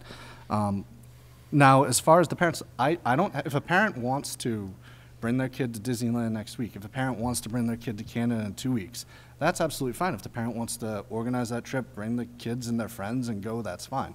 But as long as we have Middleborough Public Schools, Middleborough High School attached to it, I, I don't think it would be responsible for us to vote to allow that, even with a waiver, because I keep thinking back to the poor, poor girl from Holy Cross um, College, you know, in the, the rowing accident. She was in a school van, and just the lawsuits that emerged from that, not only on, you know, the, the van company and the school, but also the poor, poor coach who was driving that van. So there's a lot of issues when it comes to liability. We have to play it safe, especially while we're under a state of emergency. And the governor's ordering. If the state of emergency is dropped, and then we're we're in a different scenario. And it's been, it's been hard for us too. I mean, uh, Greg and I had this conversation earlier, which is, there's a fundamental problem when the NBA team and the NHL team have decided they can't play in the venue that MIAA had said up until today they were still going to play in for the state championships. And the same applies to, I think the NCAA is a perfect example. They were, their initial plan was to go without uh, fans. They had set that up all along, had decided to do that. And then today, Kansas, it's the number one team, basketball team in the country for men, decides to opt out completely, as does Duke. And all of a sudden, they all change the tune. And so, in some re- respects, everything's changing so fast and in an interesting way that none of us have ever seen before. I mean, you know, sort of we're on the beginning of something none of us have ever experienced before or have any idea of how to do it. We've never canceled a, a sort of a day to, I, I think in the past, I was trying to remember this with Hutch. I think one time that I can recall that Middleborough closed the school because the stomach virus was going through at the time with all the kids. norovirus. And so that was the only one that I can think of that maybe happened, or I can't even remember if they did it over a weekend, much less the way it is. Um, so it's tough. I mean, you know, that's the biggest piece for us, so. Yeah, and I, I understand the, the situation that you're in, and, and honestly, I, I would not want to be in, No. in that situation. Um, I wish none of this happened. Um, I mean, my son's a senior this year, and, um, in the fall, when we were trying to decide what he was gonna do, because he was actually invited to participate in the um, Ambassadors of New England to go to Europe this summer. Um, I'm kind of glad we didn't opt for that option, um, but looking at the price of that, looking at the price of the band trip, looking at the price of the senior trip, um, he opted for the band trip. No, and, you know, I, I- you know, I'll be honest with you, I go through the same thing. So I'll give you my scenario that went down. So I contacted Mr. Pitsley, contacted Mr. Brannigan, uh, Brian and I had met, and then uh, sort of things had calmed down. Mr. Pitsley asked to call me, and we talked over the phone, we had a nice conversation. Mr. Brannigan was at, uh, down the Cape. Uh, So everything sort of calmed down, and I sent a text to my two kids to ask them. My son just graduated last year, my daughter graduated three years ago. So I sent the text to them and I said, I sort of laid out what was going on. And I said, talk to me about what would happen if I canceled the band trip and then canceled the senior trip. And I got the two polar opposites of my two kids. I get from my son, don't cancel the senior trip because it's fun. And I said, well, I need some more information, please. And he's like, it's a lot of fun. I was like, all right, okay, I get it. So I'm going nowhere with him. My daughter texts me back and says, I'm going to send you an email in a few minutes. So I said, okay. So I get a two-page email from my daughter going over why the band's important. And it's everything that you guys have mentioned. It's the idea of, in her mind, her first and foremost thought was with seniors. You know, this is the trip you dream about. This is the trip you've always wanted. This is the place you wanted to go on. And again, you knew Mr. Pitsley's rotation, so you could sort of figure out where you're going, right? And then um, she talked a lot about the ability to perform in front of other people. And by other people, she meant every day you get to perform with your peers, with Mr. Pitsley, and people can hear how you're doing and stuff, and then you're performing in front of your friends at concerts and family at concerts. This is a chance to perform in front of people who don't know you, have no idea how good or how bad you are, except for that chance to show them. And she, you know, she made it very clear, you can sit at that orchestra and look out and realize when you've had a really good performance or a really bad performance by the way that people look at you. And then, you know, she talked about, she went with Mr. Pitsley to New York the year they won, um, and how that meant to her. Um, and so I get it. Um, you know, I, it is, this is, I've been on this committee for seven years, and I gotta be honest with you, uh, this is one of the more difficult things that I'll ever do on this committee. Um, partially because I completely understand what it means to each and every one of you. Um, and so I am torn, and it is difficult to me. And it's not the parents, you know, as Sue said, it's money, you'll get over it. Everybody has that. They want their kid to be safe. Uh, But more than wanting your kid to be safe, you want your child to experience life and be excited and happy. And I think for most of the parents here, they realize that by going there, what that excitement and happiness is. Um, And so, as I said, this is probably one of the more difficult decisions I've ever had to make. I can sit there and look at budget and make cuts and make pieces that I realize, but they're numbers on a piece of paper. You were on the finance committee, Don, you understand that completely.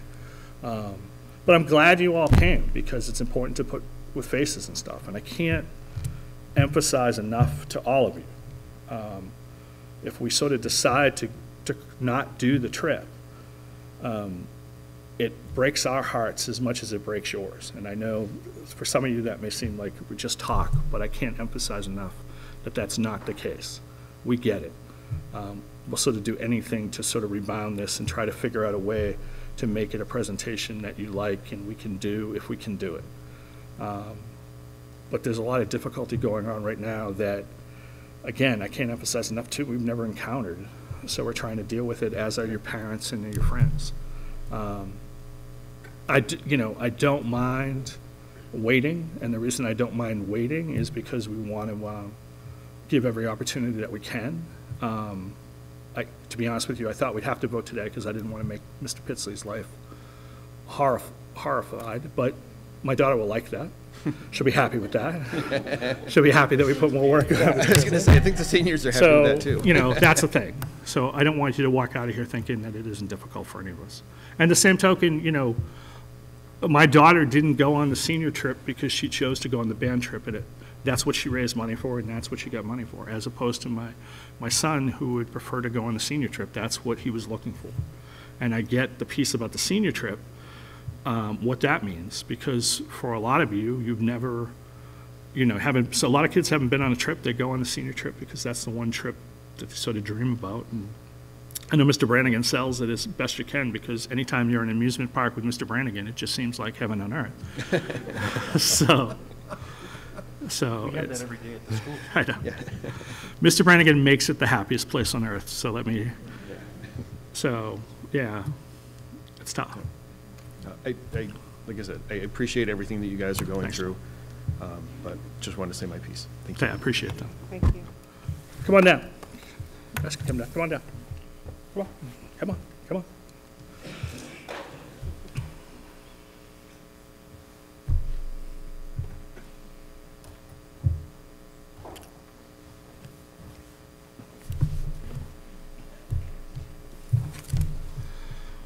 Welcome, sir. How are you? Good. I'm Greg. Hi, Greg. I wrote a speech. Go right ahead. I've gone on the previous two band trips and they made a huge impact on my life. I have many friends in the band and the other music groups, and these trips made those gr- these groups stronger. Last year we were able to go to DC for the music trip and we visited Arlington National Cemetery and were able to visit different landmarks there and and the graves and one of the graves we visited was my uncle's and that was really powerful.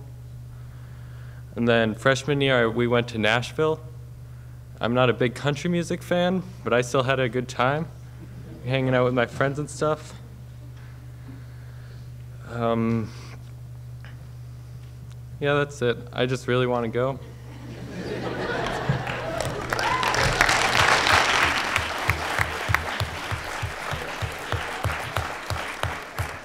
Greg, I do want to add that, uh, you know, Mr. Pitsley's made it a stop every year at Arlington to visit your uncle's grave.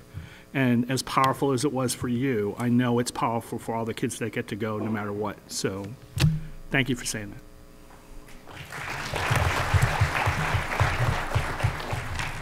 Come on down.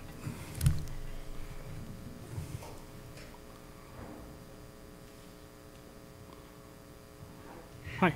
I'm Holly Bastarash. I live on Hemlock Street. Um, I planned to come here last week, like a pit bull fighting for this trip, and um, I feel like I'm starting to be a Debbie Downer about it. Um, I have never lived through anything like this before. I'm, I'm going through the days, looking at the internet, what's happening now. Things are changing so rapidly. I don't know where this is all leading to. We're living in history right now, and I think that's really important for all the students to know this. Uh, I'm nervous talking in public. um, but I'm, what I'm also looking at is what are the Canadians doing?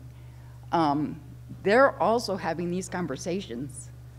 Um, I'm wondering, too, in terms of the legal aspect, could things be changing in Canada within two weeks? That there are, are un, there are barriers to us, to the children going on this trip? And could that be a recourse for getting the money back? Um, if the trip, if, if things are shut down so much that the trip is not going to look like what was initially thought it was going to look like, could this be a, a legal reason for getting the money back, for getting a refund? That's what I'm wondering. Yeah, I would, I would say possibly, I don't know for certain. I mean, the biggest piece is now, as of right now, there's no barrier to entry to Canada.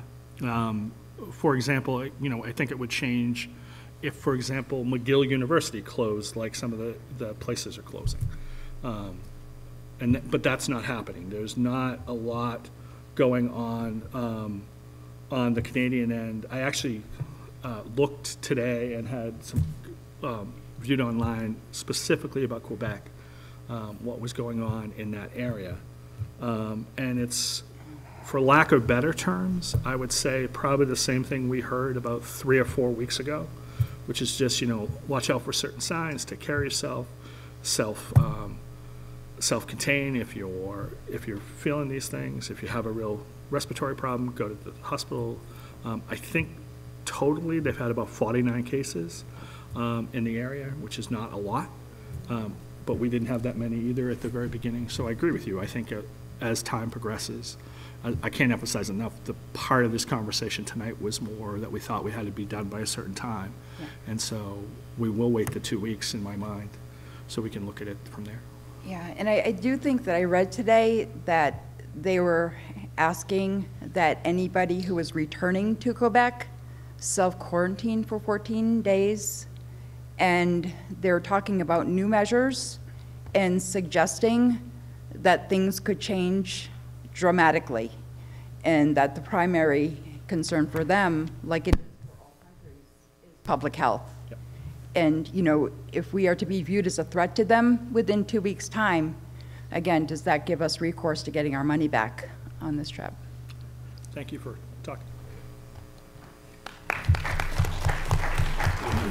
Mr. Rep.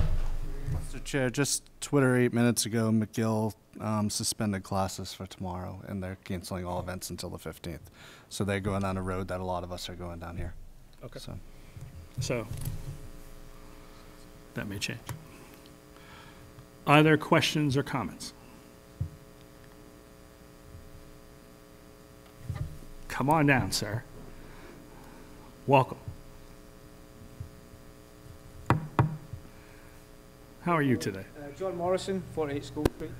Hello, Mr. Morrison. Uh, I'd just like to let the kids know that, you know, today I've seen a lot of parents get up here and really pull for this trip to happen, but with an understanding and a common sense approach to it that makes it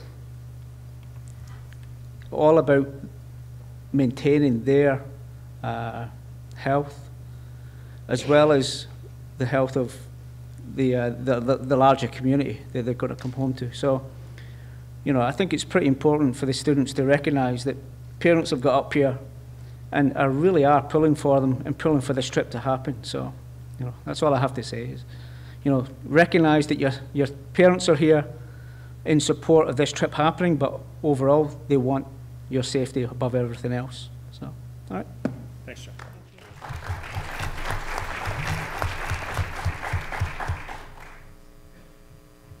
Other questions and comments? Again, we're going to talk about the band trip. I don't see anyone, uh, you know, I don't want to shut people out, so I do want to say this, though, so everybody knows. Um, We'll do the same thing next meeting. Um, It's sort of been, as far as I view, we're not going to make a decision tonight. We're going to talk a little bit about the senior trip next. Um, But I just want those who are here for the band to know we haven't made a decision. Um, We'll make that decision in two weeks based on what we're hearing. That makes sense to everybody? Okay. So with that, I'm going to end this part of it. I'm going to ask Mr. Stevens if he'd like to return, because I believe he can return for the senior class trip. Um, Before I start the discussion about the senior class trip, I'll, I'll ask any member if they wish to say anything. Mr. Chair. Mr. Giovanoni. Ibid. I mean, uh, I, I'm in the same boat as Mr. Stevens is in with regards to the senior trip, uh, with a fiduciary piece in this, so I'm going to have to recuse myself for this discussion, but I think everyone knows how I feel about it. I'm not trying to put any undue pressure on anyone. Thank you very much, Mr. Giovanni. Paul, did you want to come up and talk a little about the senior class trip? But, guys, before you go, thank you for coming. Thank you. Thank you. Welcome, Mr. Brannigan. We're going to talk a little about the senior class trip. Sure. Um, first, I just want to say that um, I'm very proud of our school tonight, of just their comments tonight. So, just uh, I think it's important to note that. Um, we know that it's an incredibly um, just unprecedented time that we're in, and um, for the senior class trip that um, that I started this trip in 1998, and probably close to 2,000 students have gone. And this is the first time we have ever been faced with something just so unprecedented. Um, in our trip, as Mrs. Almodovar had, had mentioned, the fact that we uh, do not have insurance for this trip, um, or had not insurance, did not have insurance. Um, but it's also been a trip we've never even thought about it before, and maybe over the years that there's been families who have done it on their own, but it's never even been a conversation that we've had. Um, we had our family meeting last night to go over the trip, which was planned for months anyway, so the timing was horrible, but it was also good timing as well. So when the governor had stated um, or declared a state of emergency, I had immediately called our travel people. And I think it's important to note for the committee that this tour company that we have used, I've used since day one. So the relationships that are there and their work with us is tremendous. So I had spoken to one of our two tour people, and they immediately started mobilizing our ability for insurance. So um, we are in the process of applying for insurance. So there was paperwork we sent in yesterday. Um, they sent it back that we even needed to do send in more paperwork. So we completed um, really almost a biography of each of all 63 students that are are scheduled to go. Um, and basically, what this insurance is, which I think it speaks to a little bit of the some of the comments made about the band trip, that um, it's really what is called a travel interruption or travel disruption.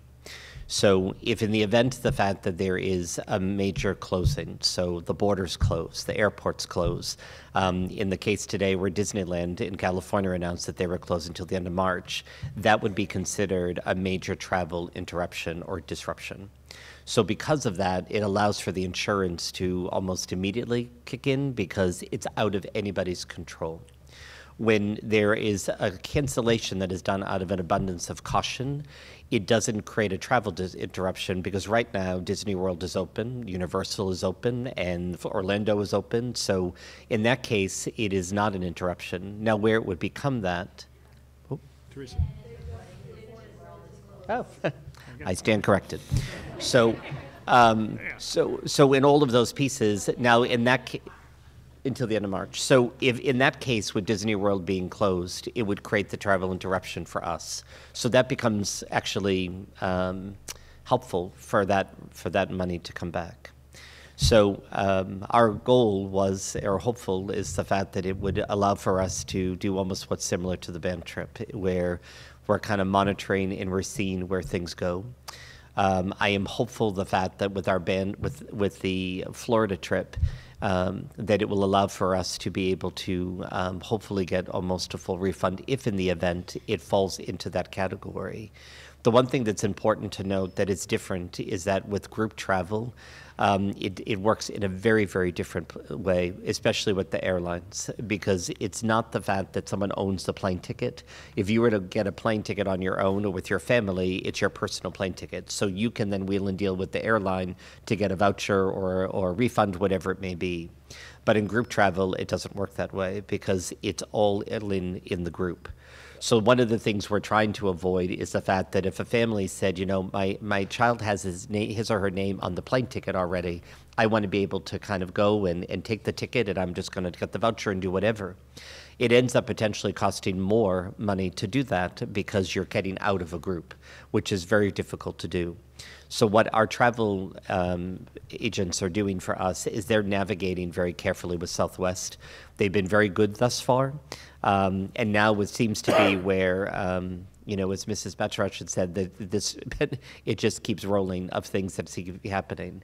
So because of that, it may even make it um, with this insurance um, feasible for us. Now, in the case of Disney World closing, it almost guarantees it'd be a refund anyway of those tickets.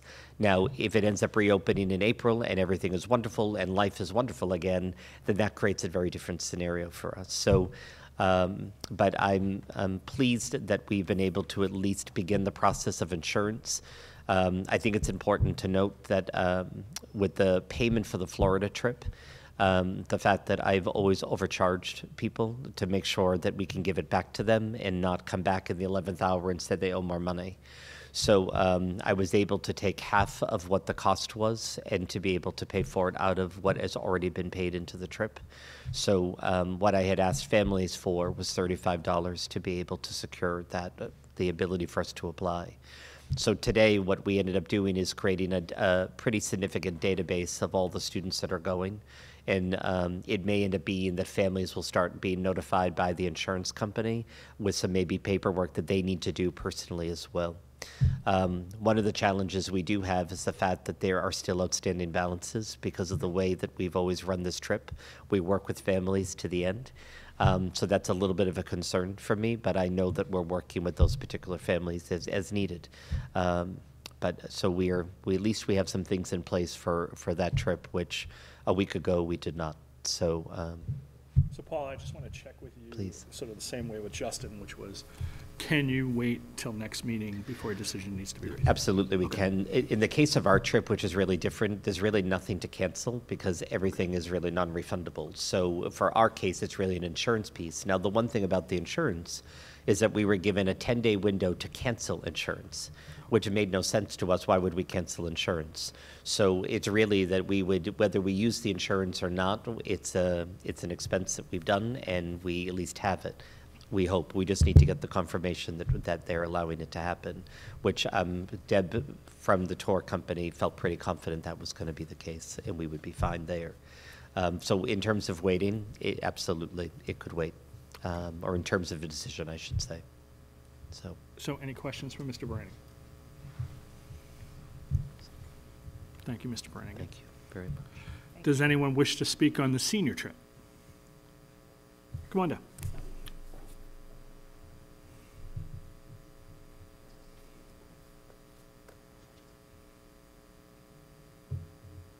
Welcome. Hi. Hi. My name is Kyle Maloney. I live on 45 Silo Lane. All right. So I'd like to start off by saying, so I've done like some research on this. I kind of understand like what's going on, and I know it's an issue, right? You said yourself, a lot of people are going to come in contact with this. A lot of people are going to get sick. It's not really going to matter where we're at, what we're doing. People are going to get sick.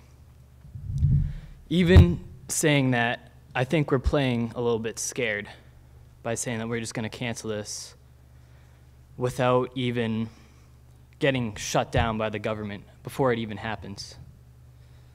I think at the end of the day, money does talk here a little bit. We've got like $170,000 on the line. This is serious stuff that our parents have paid. I've worked for. I think you owe it to the families to put the trip through, to say, we're going to go.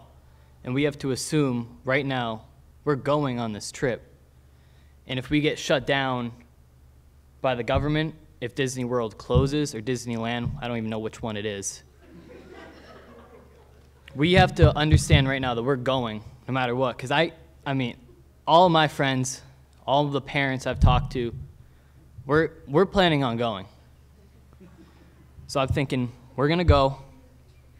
If it gets shut down by Disney World, it gets shut down by Disneyland, fine, we get the money back. But it's up to you guys to send this thing through so we at least have a chance. That's all I'm asking for.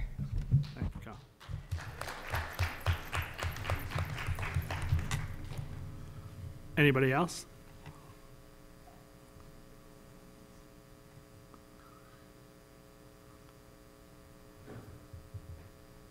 Anybody else on the senior trip? Come on. Welcome. Nesslet Drive. And I just wanted to first thank you for the opportunity to have parents of the school community have the chance to um, give some feedback and have some input in this decision. Um, I think uh, what I want to just offer some support for is the idea of um, waiting as long as possible before making the decision. Similar to what other people have said, given a chance to see if there are decisions made by the government that would make it more possible for folks to get the benefit of the insurance um, if things are actually canceled. But if they aren't canceled from that way, let it go through. So I just wanted to offer support for that. Okay, thank you very much.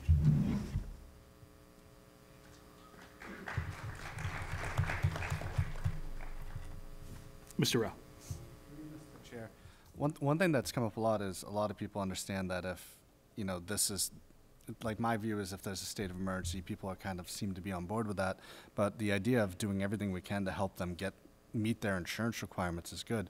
I do know a lot of us in this room work with school districts and stuff that automatically canceled these trips, canceled this stuff. So if, if, as much as, you know, if there's still a state of emergency in the 27th, then I'd still vote, no, we can't do these trips. But if we can find out what is happening to those trips, because if they canceled today and they're getting their money back or they're getting their insurance, how did they do that? Why do that? I think that would be something beneficial for us to kind of call around and figure out what is going on with other districts that just automatically canceled today, as opposed to having this form. And I, I do must say, it's awesome having everybody come out and speak. This has been really, really great. So. Greg. I just want to um, make comment about the, the timing of the insurance. A lot of the insurance that I read said that you have 72 hours to apply for the insurance after a trip gets canceled, and that's the canceling event. So if something triggers it other than us, make sure you're on top of the paperwork, getting your money in, uh, because if the, if the state cancels it, then that could be considered the canceling event.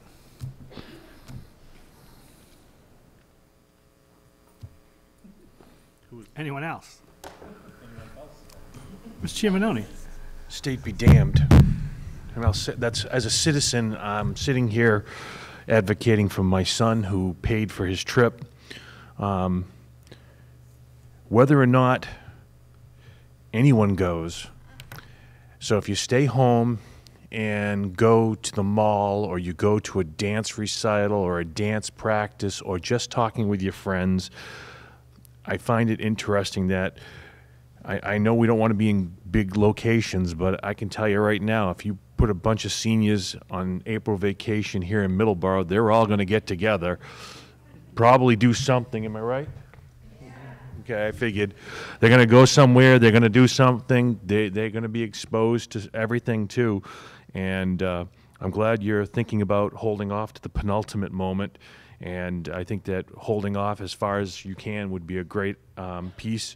Um, like you said, if the, if the federal government shuts things down, then that's a different piece. Disney's only, uh, Walt Disney World's only closed to the 31st at this point, and they're expecting to open April 1st at this point. So I just was looking it up in the back there, and my son was texting me, so he's telling me all the stuff. He's watching it live. Of course, he's about five minutes behind. But uh, I, I'm glad you're taking this. Um, it, it's not easy. It's not easy on the other side of that either, but it's not easy as a parent. Um, for the, my son was chastising me even while I was sitting there um, about this that uh, that he really really wants to go. He's like, I'm 18, I can go. I said, unfortunately, it's a school it's a school trip. Um, there's the school committee has to approve it and uh, has the final say for the benefit of all 3,000 students, the faculty and staff, those who might um, get sick because of it. So uh, I don't envy what you guys have to decide on that one. But uh, if you decide after April 4th, I won't be there. Sorry. Why don't you wait till the first meeting after the election? Thank you. Anybody else? Come on down, please.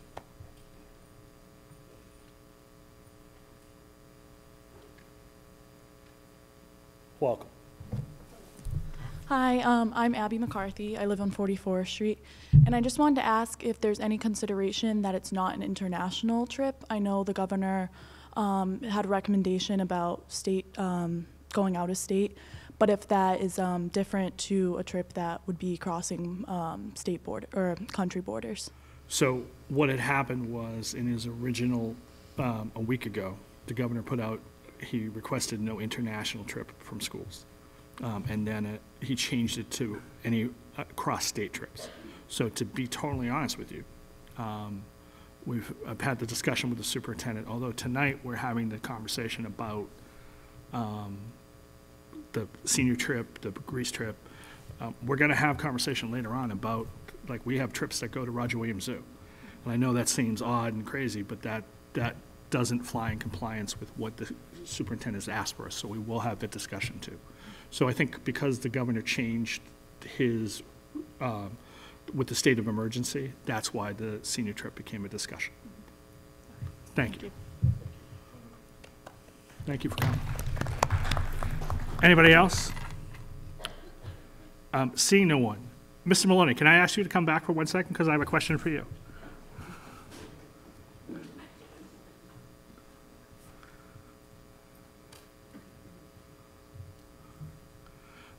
I- just want to make sure I understood something you said. Um, Were you looking for a decision tonight, Mr. Maloney?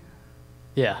Okay, Th- that's fair. And, and so, um, we've heard that it may make sense to wait, okay? And so what I can do is I can ask the committee if they're willing to vote tonight, okay? And so if they're willing to vote tonight, somebody would make a motion to make the vote. If no one makes the motion tonight, that means they would make the motion at the next meeting. But since you requested it, I'm going to ask the question of the committee, if that's okay with you. Yeah. Okay, great. So the chair, chair was wondering if the, any member of the committee would make a vote to make a recommendation tonight. Wait, wait, wait. Hold it. Hold it. What are we doing? No, no, no, no, wait a second, no, no, no, just to be clear. can you clear? Yeah. Can No, no, no, just. Slow down here. No, no, no, I'm not, I'm not trying, the reason I'm saying this is, this doesn't hurt anything. This doesn't change anything. All it means is, is the committee ready to make a decision tonight? Um, From no one making the motion, it sounds like they're not ready to make the decision for two weeks. That doesn't change anything. The reason I bring it up was Mr. Maloney asked if we could make a decision tonight. And sin, in my mind, since he came here, made a great presentation, explained what you wanted, I feel compelled that we need, I need to ask the board, and I just wanted to make sure I understood him. So it doesn't, it, it's not a knock on anything, it doesn't mean anything, it doesn't mean you're doing anything wrong. You're doing everything that you're allowed to do. And because you stood up here and asked a question, I feel like I should ask for the committee vote. All right. So th- this doesn't hurt. So No, you guys can overturn me next So, meeting. Uh, I didn't just mess So just to be clear, what I'm asking the committee to do is to make a decision tonight. If no one makes the motion, which no one has yet, We can make then it we'll make the decision next week. All right, let's the do next it, meeting. guys. Nope, that's fine. So again, does anyone want to make the motion for tonight? Hearing no one, then we'll make, I promise you, we'll make a decision in two weeks. All right. But I did want to honor your request. All right. That make, that fair? Thank you. Thank you very Young. much. I appreciate you coming. Mr. Steven?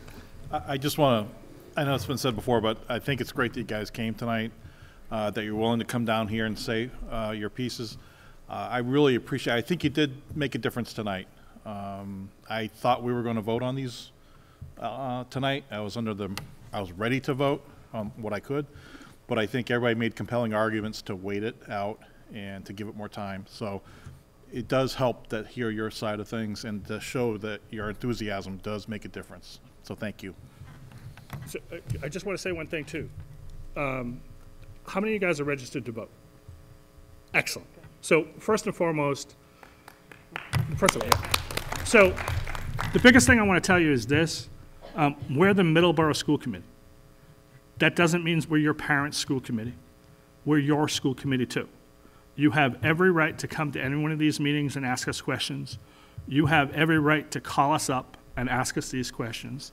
Natalia is the representative student. You, you have every right to talk to Natalia and ask her to, to bring forth your ideas and your discussion.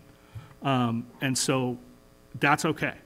I don't want any of you to think, um, you know, and that's why, Mr. Maloney, when you came up and asked a question, I felt compelled to make sure that we were, we were doing it. And it doesn't hurt your cause. It's just you asked for something and you have every right to. And so I'm very proud of you guys to come. Um, I can't emphasize enough, please come more often. And please come after you guys leave and go on the trip. Um, so that's what I wanted to say, so thank you. What, Meg? Thank you. Um, I just kind of to piggyback on what you said, we're here for you guys. And so yes, our, you know, our concern is the district and our concern is making sure that our community is safe. But ultimately, you guys are gonna be impacted by this and you're gonna be the ones that are affected. And so we wanna make sure that we're taking your voices into consideration. So you guys mean just as much as everybody else that is here.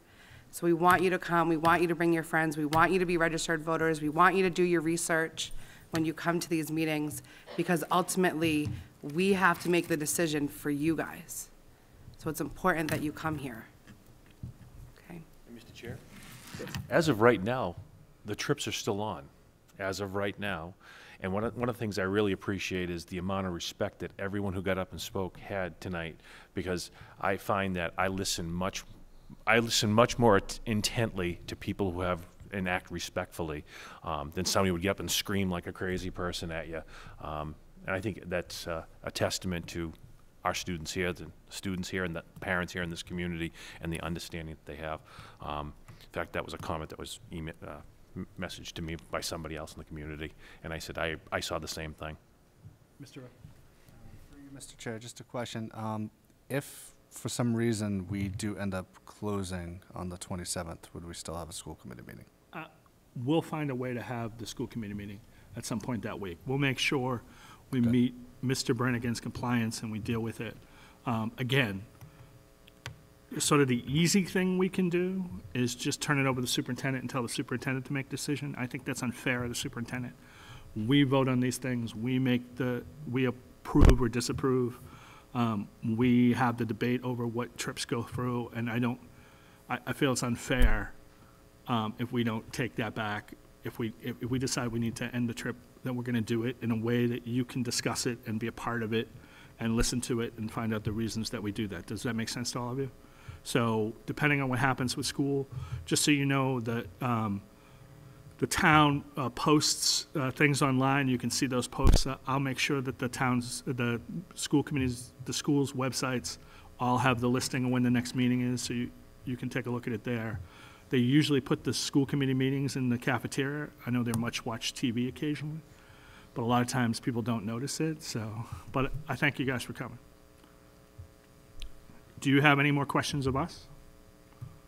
Okay, so I do want to end with this, that even if we, if something happens with the trip or it doesn't, we are all looking forward to all of you that first Saturday in June, because we'll be the ones giving you diplomas, and that means a lot to us. So that's why we want to take your advice and listen to you too. So thank you for coming, and thank you for saying what you needed to say. We appreciate it.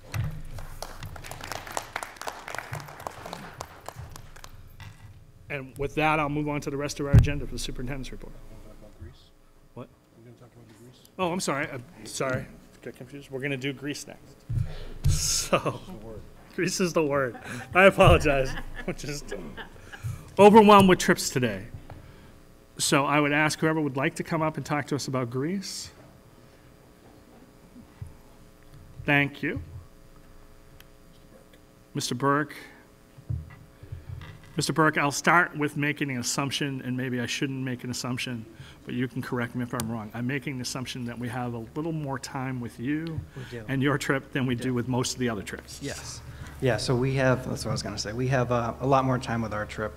Um, EF, the company that we go through, just uh, extended it out till April 30th to make a decision um, about cancellation.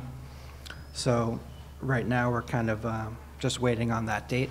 Um, But their uh, policy right now is if we were to cancel, we have three options, um, to rebook to a different date, to choose a different destination uh, rather than Greece, or uh, individuals can receive a travel voucher um, to be used by the end of September 30th, uh, 2022. Thank you, Mr. Chair. Sure. Mr. Burke, has that changed in the last week, their stance? Because there's been a letter that was submitted to EF Tours, written uh, and signed by probably 200 superintendents in Massachusetts, specifically to EF Tours, and explaining the situation um, and the urgency of the situation and how unhappy we were with their initial response. Has that changed? It changed a little bit, but, um, so this is the most up-to-date information that they sent out today. That was today, okay. Yeah. Thank you. Uh, They had changed, it was initially uh, the end of the month, and they switched it to uh, April 30th, and they switched the travel voucher from 2021 to 2022. Jackie May Beaton's here also, for a high school, high school faculty member. Now, the question I have, how many are going on your trip and how many are seniors? So we have 24 enrolled and seven are seniors. And I guess, obviously, you just got that today, so you're gonna have conversations with people about what their options, do you have to choose, do you have to choose all for everybody, or can you choose a combination? So we can choose a combination. If we were to, you know, bump it back to next year, uh, the seven seniors could opt for the travel voucher, and then the other could choose to go on the trip. And EF also has, does, does um, tours with colleges too. So it wouldn't be, for example, like they'd have to come back and go with underclassmen.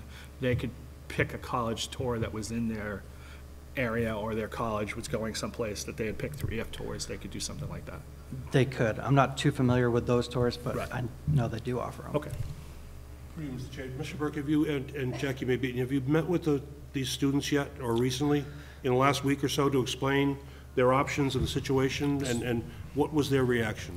So we had a student meeting on, was it Monday? Uh, yeah, on Monday. On Monday. Um, This was kind of before it, you know, blew up the way it did. Uh, And we have a parent meeting scheduled for the following Monday, this Monday coming up. The 16th? Yeah. So we could technically take your situation up at the last meeting in April. Uh, Yeah. Because that would be, no, maybe not the last. It would probably have to be the ninth, because I think we moved our last meeting, because our last meeting would have fallen on vacation week, and we moved it to the thirtieth, so that's not gonna help you.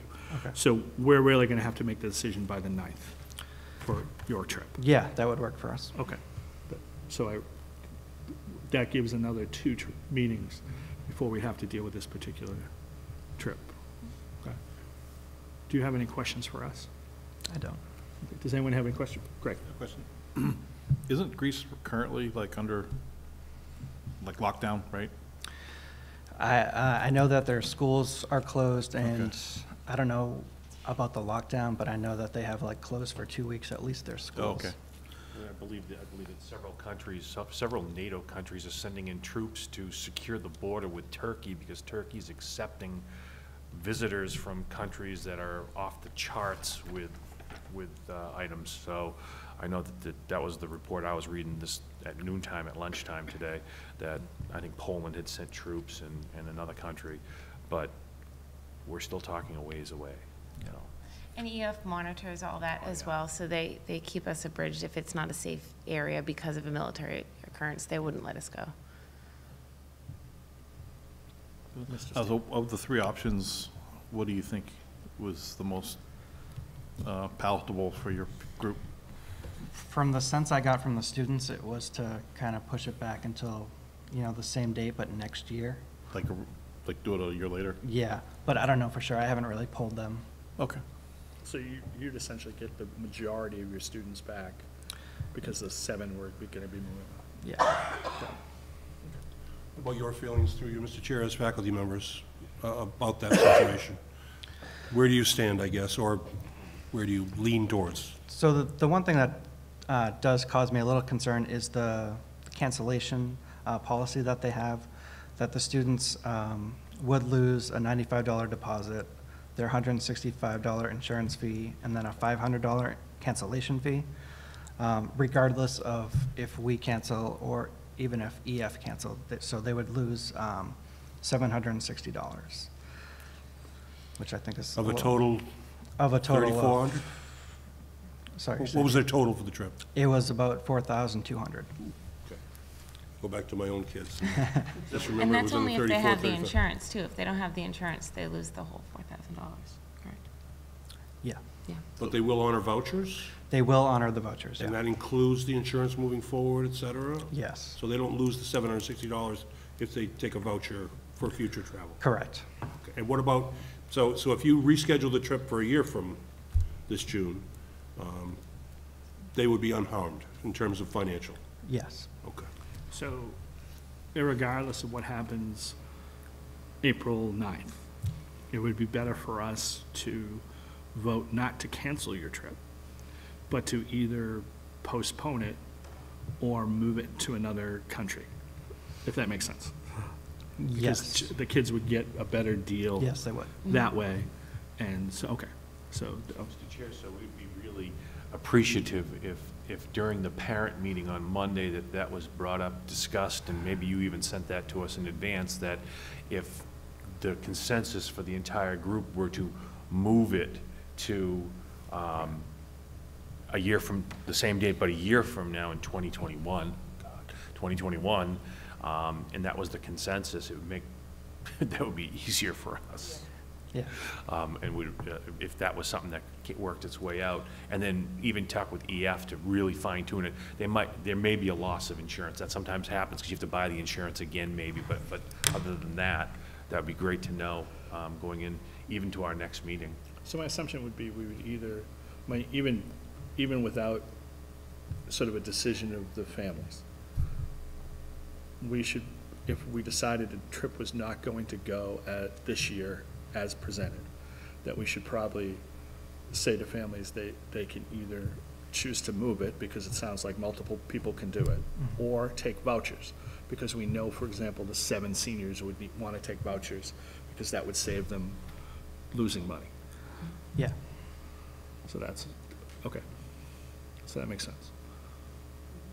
Any other questions?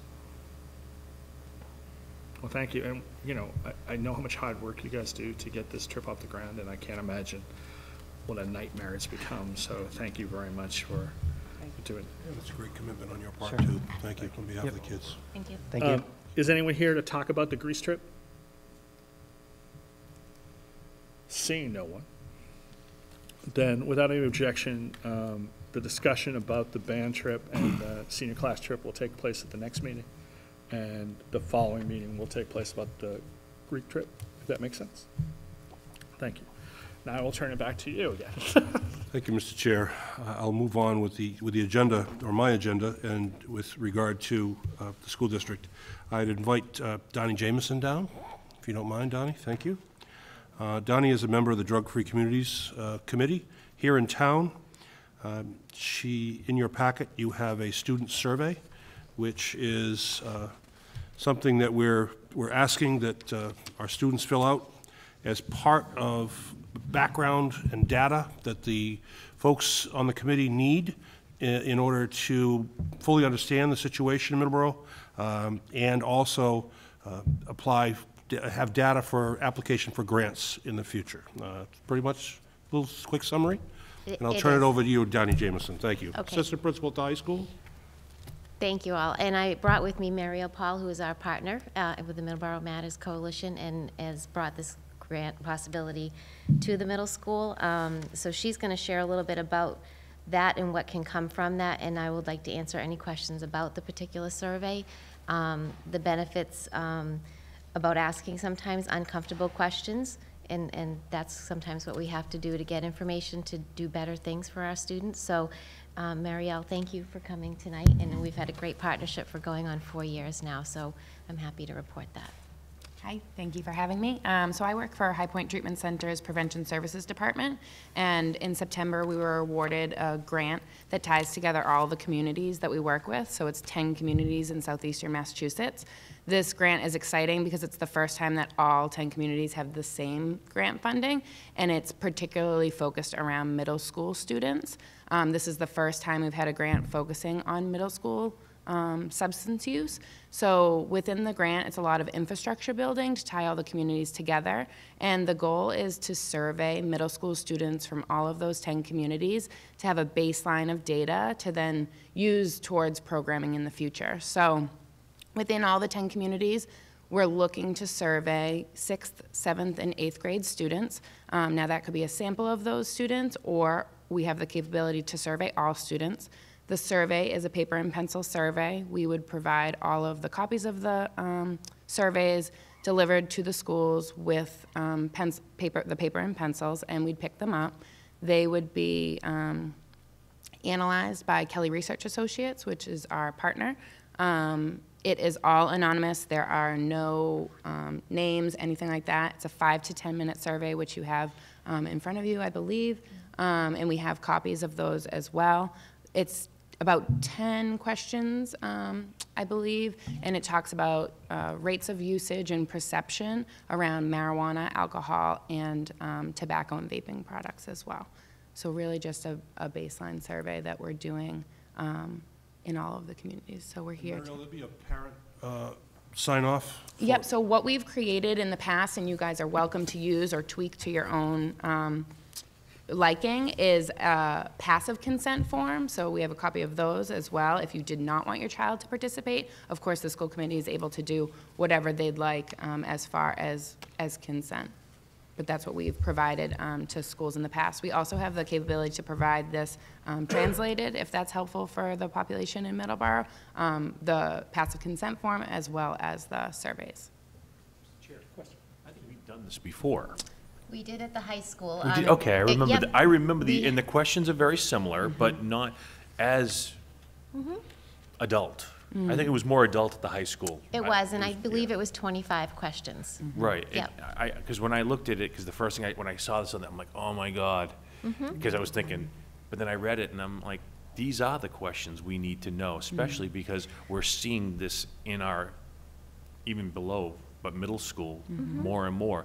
I definitely would want to do everybody. Mhm. Because the more data you have, the better data you have, Right. not just for our community, but as a whole in ten Right. communities. It's very benign. I like the pencil and paper because Mm. some people are like, I'm a computer person, but you definitely know you, you, this is anonymous. You're putting a check. Right. That is it. Yeah. Um, so I, I think that this is, um, data well collected and Mm. For, I mean, it's been asked at the selectmen's meeting, we've heard it at the selectmen's meeting, what's going on at our middle school, what's going on? Mhm. And we don't even, we, we don't have those numbers Mm. specifically to our town, but this would really, um, get us some real data. Mhm. Um, and I, and we have to have this unfortunately, and, uh, because I know parents don't always get the answers, and I know, Mm. I probably don't get all the answers, and I have a pretty close relationship with my kids. Right. But, um, no, I appreciate you guys doing this. I- I- It's, uh, and I'm, I, I, I can't, I don't, I don't wanna say I can't wait to see the, the results, but I, I'm glad we're gonna have the results. Yeah.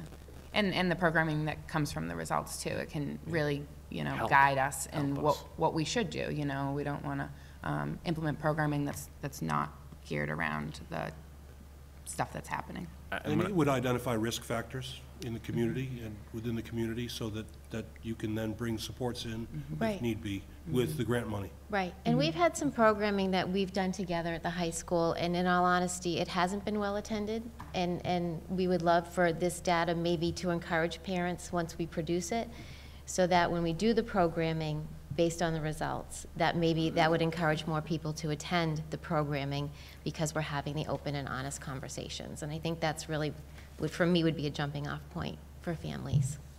And, and I was thinking, Mr. Chair, I was thinking that this, I remember thinking this as, as, at the high school one, I, maybe if one person opened up Mhm. to, and looked for the help. Mm. Real, this, this could be a, that trigger of saying, hey, Mm. I need help.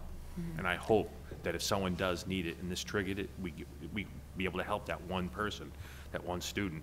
Um, I think it, it's, uh, it's such a benefit to have Mm. this information, but it, it could, it could do other things for us too. And. I mm-hmm. think if we put it in the hands of the parents afterwards, every parent should know the data, because maybe they will have that, that conversation. Mm. And not from the standpoint of, what did you do? Mm.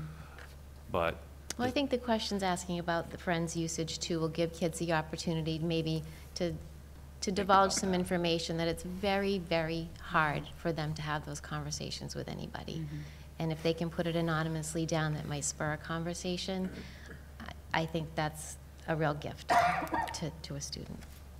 Uh, Within our team too, we have lots of resources, so if those, if it did spark somebody who needed help Mhm. in starting those conversations, we have tons and tons of printed resources um, that we could provide, and we do provide already to both the high school and the middle school to have available in the guidance office or whatever that might be. So I guess that's my question more than anything Yeah. else, which is becomes, how do we prep teachers for giving out the exam? Yep. And not just taking the exam, but if a kid comes forward and, because the kid's gonna come forward to the teacher. Yep. As we know, they're not gonna come forward to the guidance counselor, they're not gonna, you know, Yeah. that's who they're gonna make forward.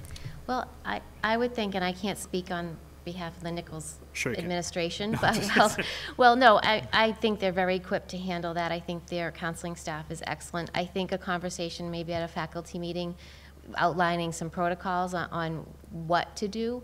Um, I know staff is trained on, on to report things, um, but I, I think giving them the tools to say when someone offers you this, this is what we're gonna have available. So I, I think a, you know, a half hour at a faculty meeting, um, and if one of us could attend to help, we could, um, but they're very equipped to handle those conversations. And the only other thing, I'm absolutely in favor of doing this, as I have been from the beginning. The only thing I'd like to see is sort of the follow-up, Yep. which becomes, you know, we give out uh, to grades, and then we gap for a little while. Yep. But then we don't, you know, so last time we did the high school, Mhm. and that, now we're doing the middle school. So I'd like to see us go back to the high school when these kids are there, to Yeah. see if changes have been made based on, you know, like, us looking at what programmatic pieces we want to change, Mhm.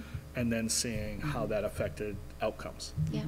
Yeah. So with this particular funding source, um, we do have the capability to, to survey middle school students for five years. So it wouldn't capture those people to, um, that go up to the high school. Um, and unfortunately with the, with the survey tool in the past, the grant that we had didn't cover it, so it wasn't as robust, I guess I would say. This grant that we have for five years has surveying written into the grant for all five years for the middle school. Fantastic. Any other questions? So I think the goal was to get this done before April vacation. Yeah, ideally before April vacation. So we, Marielle and I could work with the middle school and for them to have a time frame that works for their, mm-hmm. you know, their day. If no one objects, the chair would entertain a motion to approve. So moved. Do I a second? Second. Discussion. Hearing none. Any questions from the audience? Seeing none. All those in favor say aye. Aye. Opposed? It's unanimous. Thank Thank you, you. Thank you very much. Thank you very much. Thank you.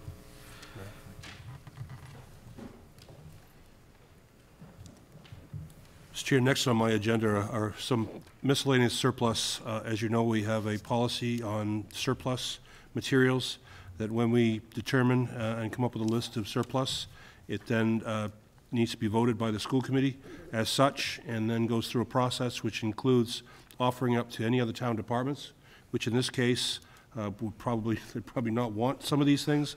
Uh, But then we would go to the next step, which would mean basically offering them up uh, elsewhere. And there are book companies, and there are companies that do purchase things. There are other school districts that are still using these. These are a little bit outdated for us, and we've upgraded, but there are still communities that are still using DRA kits and ALM. The, the, the Russian is, is an old Russian System 96.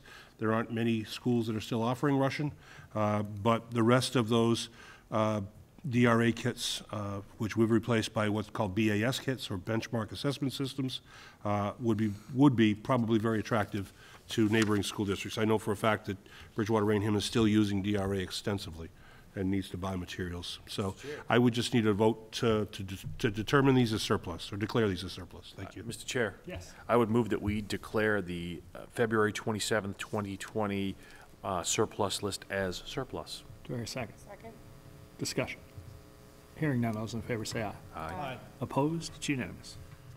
Thank you. Next on my report is the READS Collaborative uh, projected building lease, and uh, I attended a Board of Directors meeting today where the Board of Directors voted uh, to go forward with a proposal that came from the READS Collaborative uh, to lease a building at uh, 44 Bedford Street, which is the old Travelers Insurance Building at the Rotary.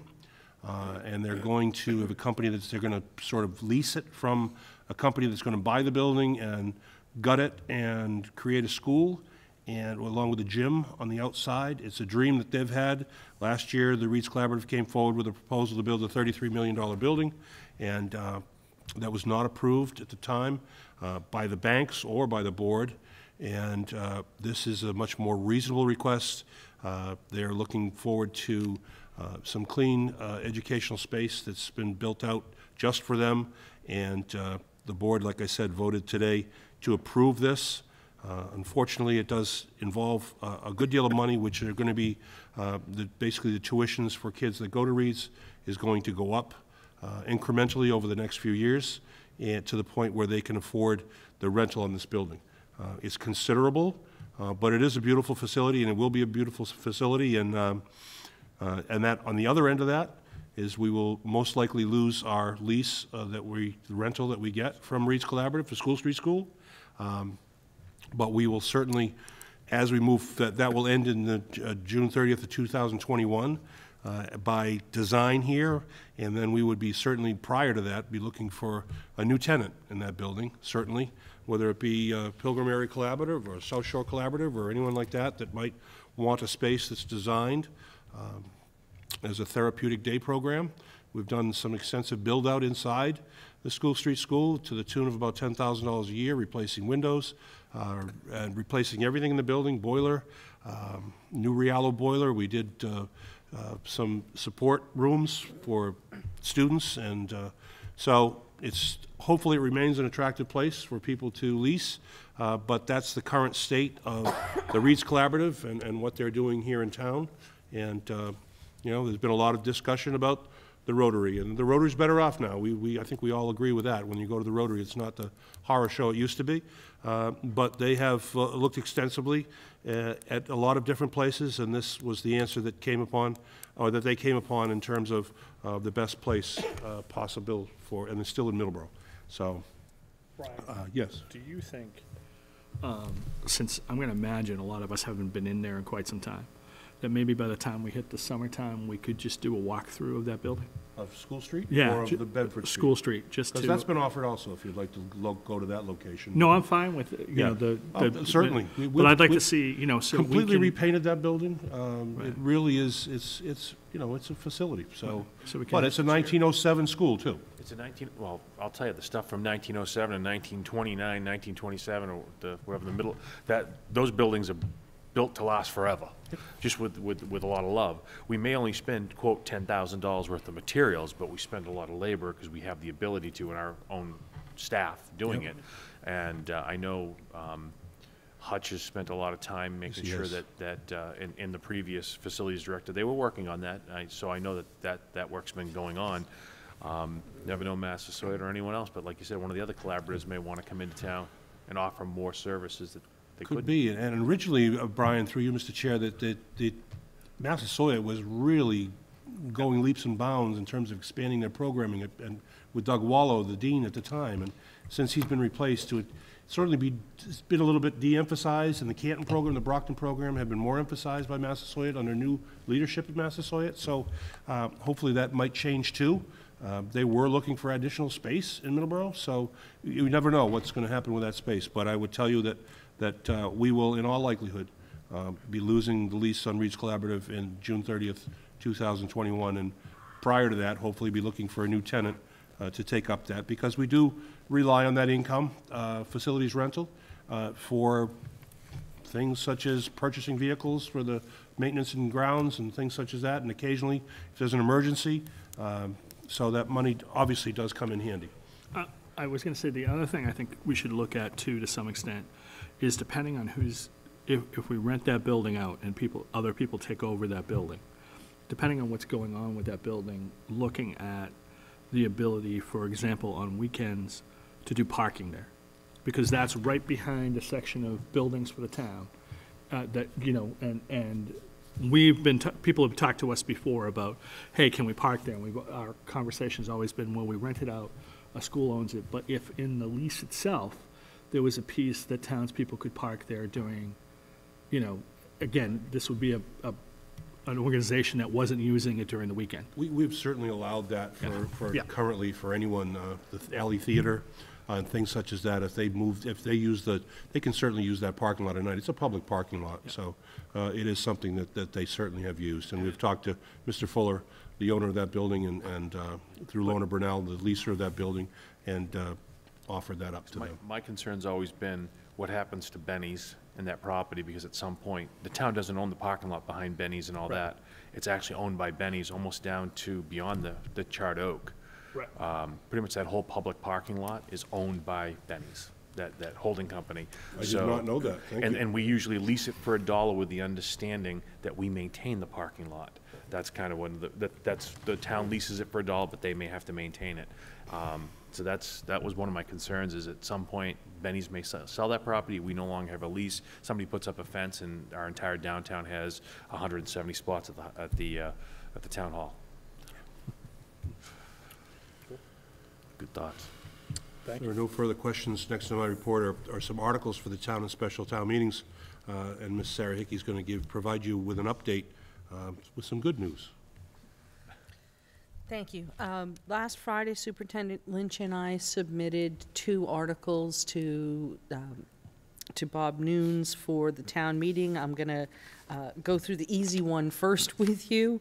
It's actually the longer one, but it's easier to deal with. Um, The, there's federal reimbursement available through Ti- Title IV-E, and uh, the reimbursement would be for transportation for foster care students. And in order for us to apply for reimbursement for the foster care transportation, uh, we need to enter into a memorandum of understanding uh, between the Middleborough Public Schools, the Department of Children and Families, the Executive Office of Health and Human Services, and the Department of Elementary and Secondary Education. The mem- the memorandum of understanding um, can only be entered into after it's approved by town meeting. So um, the first article, fairly straightforward, just asks, do we have permission to enter into this agreement to get reimbursement? Sure. I myself will be voting against that because of the explanation. If we enter into an agreement that we will then receive only twenty percent of the money that we're, re- that we should have received, and as the person who made that original McKinney-Vento, I get on my soapbox every year, that that original, original vote that was taken was that we do not willingly accept. This would be a willing acceptance of twenty percent on the, on, uh, twenty cents on the dollar, i- moving forward. I'm not even, I don't even know what's going backwards, and the concern being that if we don't get what is rightfully ours from the state, I would, I, I would fight to the end and go after it. They owe it to us, they have to pay us. The, the state, it may be a federal piece, but the state accepted the federal, uh, under the Constitution of the United States, the federal government can't force the state to accept it, the state accepted it, then handed it to us and said, we have to do it. Well, we did not willingly accept it, we do it. Um, and that was how the vote was taken. So under the non-willing acceptance, under Proposition two and a half, we should be getting reimbursed. I don't care what anyone says, we should be going and fighting for this money. Hundreds of thousands of dollars, probably close to a million and a half dollars right about now, over the last nine years that we've been doing this. But I understand that, just, it, it annoys me. I definitely, I'll be at town meeting saying, don't do it, because I'd rather, I'd rather, we don't, we can't give up this money. We should be fighting more and more, and I've, I've, I've, I say it to the governor, I say it to everyone, and everyone just looks at me like a deer in headlights, because you know what they want? They don't want to say, you're absolutely right. We did not willingly accept it. All the other communities in Massachusetts did. The moment you vote for something, you willingly accept unless you say, I'm not willing, we, we do it without willingly accepting. That is how you take votes. That's how that's, that was voted. Now I'm off my soapbox. Now I'm all wrong, right? Better to take 20 cents than nothing. Thank you. Um, The second article for special town meeting, we have incurred expenses for private transportation for out-of-district students. We've incurred expenses in excess of what was budgeted. And so the second article that was submitted was to move money um, between accounts. So the transportation accounts are held through the town, not through the school department. So we have the 900 accounts, which cover the first student buses, the special um, contracted uh, special ed transportation, the McKinney-Vento homeless transportation foster, and foster care. Um, That, those 900 accounts are short this year, but we have an excess in the 899 accounts, which are our minibus salaries, our crossing guard salaries. So I'm moving pieces of money from those accounts and then from the operating budget in order to cover the shortfall in the 900 accounts. Any questions about that? Those have been submitted to town meeting. Um, Just so everyone understands, those are the only two articles we're submitting. We're not asking for more additional funding because we've been able to make up the funding in our current budget.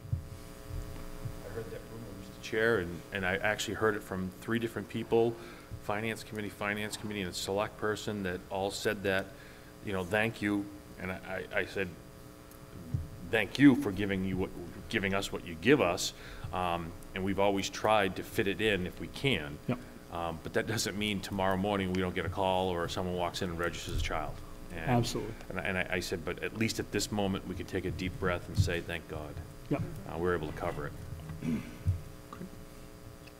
finally, in additional good news, uh, every year we're informed from the federal government through the state uh, about additional supplemental money that comes into some of our grants.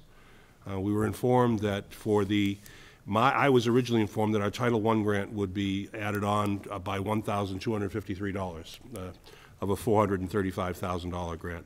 And then Mrs. Latender, who's our uh, Title I coordinator, uh, got a secondary email yesterday that said, oh, we seem to have made a little bit of a gaffe, and, and you have another $70,800 coming your way. And we thought that was money that was going to, that was destined to go elsewhere, because it's almost the exact amount that we pay to the Chamberlain School every year. And the person said, no, that is the school district's. So that's another $70,800 uh, that we can actually carry over to next year and pay salaries, uh, pay whatever we want out of that, supplies. Uh, So that sort of maybe loosens up the, the budget just a little bit more in terms of some of the things that we have to do. And because as the Budget Subcommittee has reported and we have reported, uh, next year's budget is, is a tight one. Um, So that's some good news. All right? To end my report. Thank you. Um, A piece of information not on your agenda, because it just came to me tonight at 9 o'clock from the governor's office. Um, uh, Governor Baker has announced an emergency order modifying the state's open meeting law. According, according to the, the order as presented, um, you no longer required public access to the meeting as long as you can provide other ways for the public to get in. And they use the examples of a phone, social media, or other internet or streaming services. In addition, um, it is no longer a physical requirement that the majority of members be present in one location. So in theory, the superintendent and I could sit in his office and conduct a meeting via phone where you call in and um, register in that way. Does So- it require acceptance by the town or just this board? No, it's an emergency order, so it requires the, it's, Just happens. right, so it's an emergency order, from what I understand, that is uh, temporarily modifying, so it is only going to be in for a while. Um, So we'll obviously have to figure out what that public access piece is if we chose to use it. Um, But that will be something clearly as the days go on, I will ask you about if you feel we should look that way. and- Uh, Mr. Chair, that's been coming down the road, but because I I believe it's also, uh, we have to live by the same requirements with regard to open meeting law. So we can't just the posting hold has a to phone occur. meeting, a school committee meeting, it has to be posted in advance. Um, I also know that, um, for example, given what's going on, there was another directive laid out that, uh, that I heard about, and that, to be honest with you, I haven't seen it yet, that the Attorney General's office was gonna allow broad leeway in the term emergency meetings, which makes sense. So for those who needed to post in forty-eight hour notice, obviously, if you could make the case it was an emergency and couldn't post, as long as you were posting whenever you could, and went from there, it made sense, which, again, makes sense given the times we're in. So I wanted to bring that up. Yeah, but normally it's 48 hours pursuant to Mass General Law, Chapter 38. Next up is the consent agenda. Motion to presu- uh, approve the consent agenda as presented this evening. Do I hear a second? Second. Discussion, all those in favor say aye. Aye. Opposed? Um, Other than, do want to thank Mr. Fisher um, for uh, the Fisher's Pub sale, so we appreciate that. Yes, absolutely. David Fisher's always good to us. He and his, his wife, uh, and their entire restaurant group. So MSBA meeting, um, we have um, 52% of the building is completed. And again, can't emphasize enough, we are still under budget. Um, For, I'm assuming the school committee members would probably be invited too if we wanted to for the walkthrough. Absolutely. It's March, March 28th. March 28th. Um, If you can, it's a Saturday morning. We're going to walk through at 10 a.m. Um, I would caution this, that although the school committee member will be there and the building committee, it is not an open meeting because it is a walkthrough in a construction area. So um, that's important. Hard hats required. Hard hats required. Sensible required. shoes. Sensible shoes and hard hats. Mr. Chair. Yes. We're still, we're, we're at six percent of our contingency budget having been spent uh, so far. Um, With, if everything that was being haggled over and and negotiated would be at eleven percent at this point, which is still great. And they've made up about eleven days on their, their eighteen so far. So as of yesterday, at four fifty-three PM or whatever, it was uh, seven days, but still well within our window. um, for getting that building in November and the move-in for a January opening. Um, Also, on a related matter, we, the superintendent and I had to sign the updated budget with MSBA that included the, obviously, you don't want to change the budget if you think you're under budget right away. You want to make sure you were truly under budget, so we've compressed those numbers even further and clearly under budget. So we submitted a new budget to MSBA, making sure that we complied with all the requirements. So the superintendent and I submitted that the other day, along with uh, Rob DeRoches and the uh, town manager. We all had to have our four signatures on that. Any other questions about MSBA? So uh, as a reminder to everybody, the Rotary Club Annual Charity Auction is this weekend. Uh, The Rotary has been very, very good to us um, and consistently helps students in our area, so we want to make sure that people watch the Rotary auction and participate in it. So get your paddle and have a good time. Um, Superintendent evaluation will be up uh, by the end of the month. You girls have to turn it in. The, uh, the instrument will be, I can put it in the mail tomorrow? Yeah, that's what. In, in boxes tomorrow, and then I'll have my memo prepared by midweek next week. Okay. I meant to, tried to get it done yesterday and today, but corona- coronavirus got in the way. Superintendent and I, coronavirus, that's all I need to talk about again. Uh, Superintendent and I are spending the day on the Hill May 5th. I believe Mr. Stevens thought long and hard about attending. You- Still thinking, so if others want to attend, you're more than welcome. It's a fun and rather exciting day. Cinco de Mayo on the Hill, if you will. Um, Policy update. Third reading of emotional and therapy support dogs in schools. Motion to approve the third reading of the therapy, emotional support dogs in school. Do I have a second? Second. Discussion. All those in favor say aye. Aye. Opposed? It is now policy. Great news. Thank you all very much. And then lastly for my night, in your packets was the updated memorandum agreement between the MEA and the school committee. It has to do with um, the uh, class schedule at the high school. Mr. Chair? Yes. I move that we approve the memorandum of uh, agreement with the change in high school scheduling as presented. And allow the chair to And sign. allow the chair to sign on our behalf. Do I hear a second? Second. Discussion. Mr. Chair? Yes. This would mean the schedule would change for the 2021-22 school year, not this September, uh, which would allow us to get into the new facility and work out some other pieces that I know that this group has been working hard on. So um, I think it's great that you guys are going to continue to work on it. Any further discussion? Hearing none, all those in favor say aye. Aye. Aye. Opposed? It's unanimous, and the chair just signed it, so I'm going to give it back to you, Ms. Superintendent Searle. Um, With that, again, um, our next meeting is supposed to be March 26th. Um, We will hold a meeting in someplace, somewhere that works out primarily to do those particular pieces that we talked about tonight. Um, We live in a different sort of place, as obviously, as I mentioned, that there's a new piece about open meeting law. Um, We will do what's best for the community. Um, And so we just ask people to be safe and be sane and make good decisions. Um, And if they have questions about everybody else, um, just call and ask. It's important, and that, that calling and asking means the schools, means the superintendent's office, and means one of us. Just so everyone knows, while I'm, we were here tonight, I got a text from a state rep who said, "It- does somebody in Middleborough have coronavirus? So I immediately said, short answer, no. Uh, Long answer, I'll talk to you after the meeting. So, so I think that's important. Next meeting is 26, where we'll be assessing the band trip and the senior trip. Right, we do not have to discuss the, The Greece trip will be Greece the trip following meeting on the April 9th.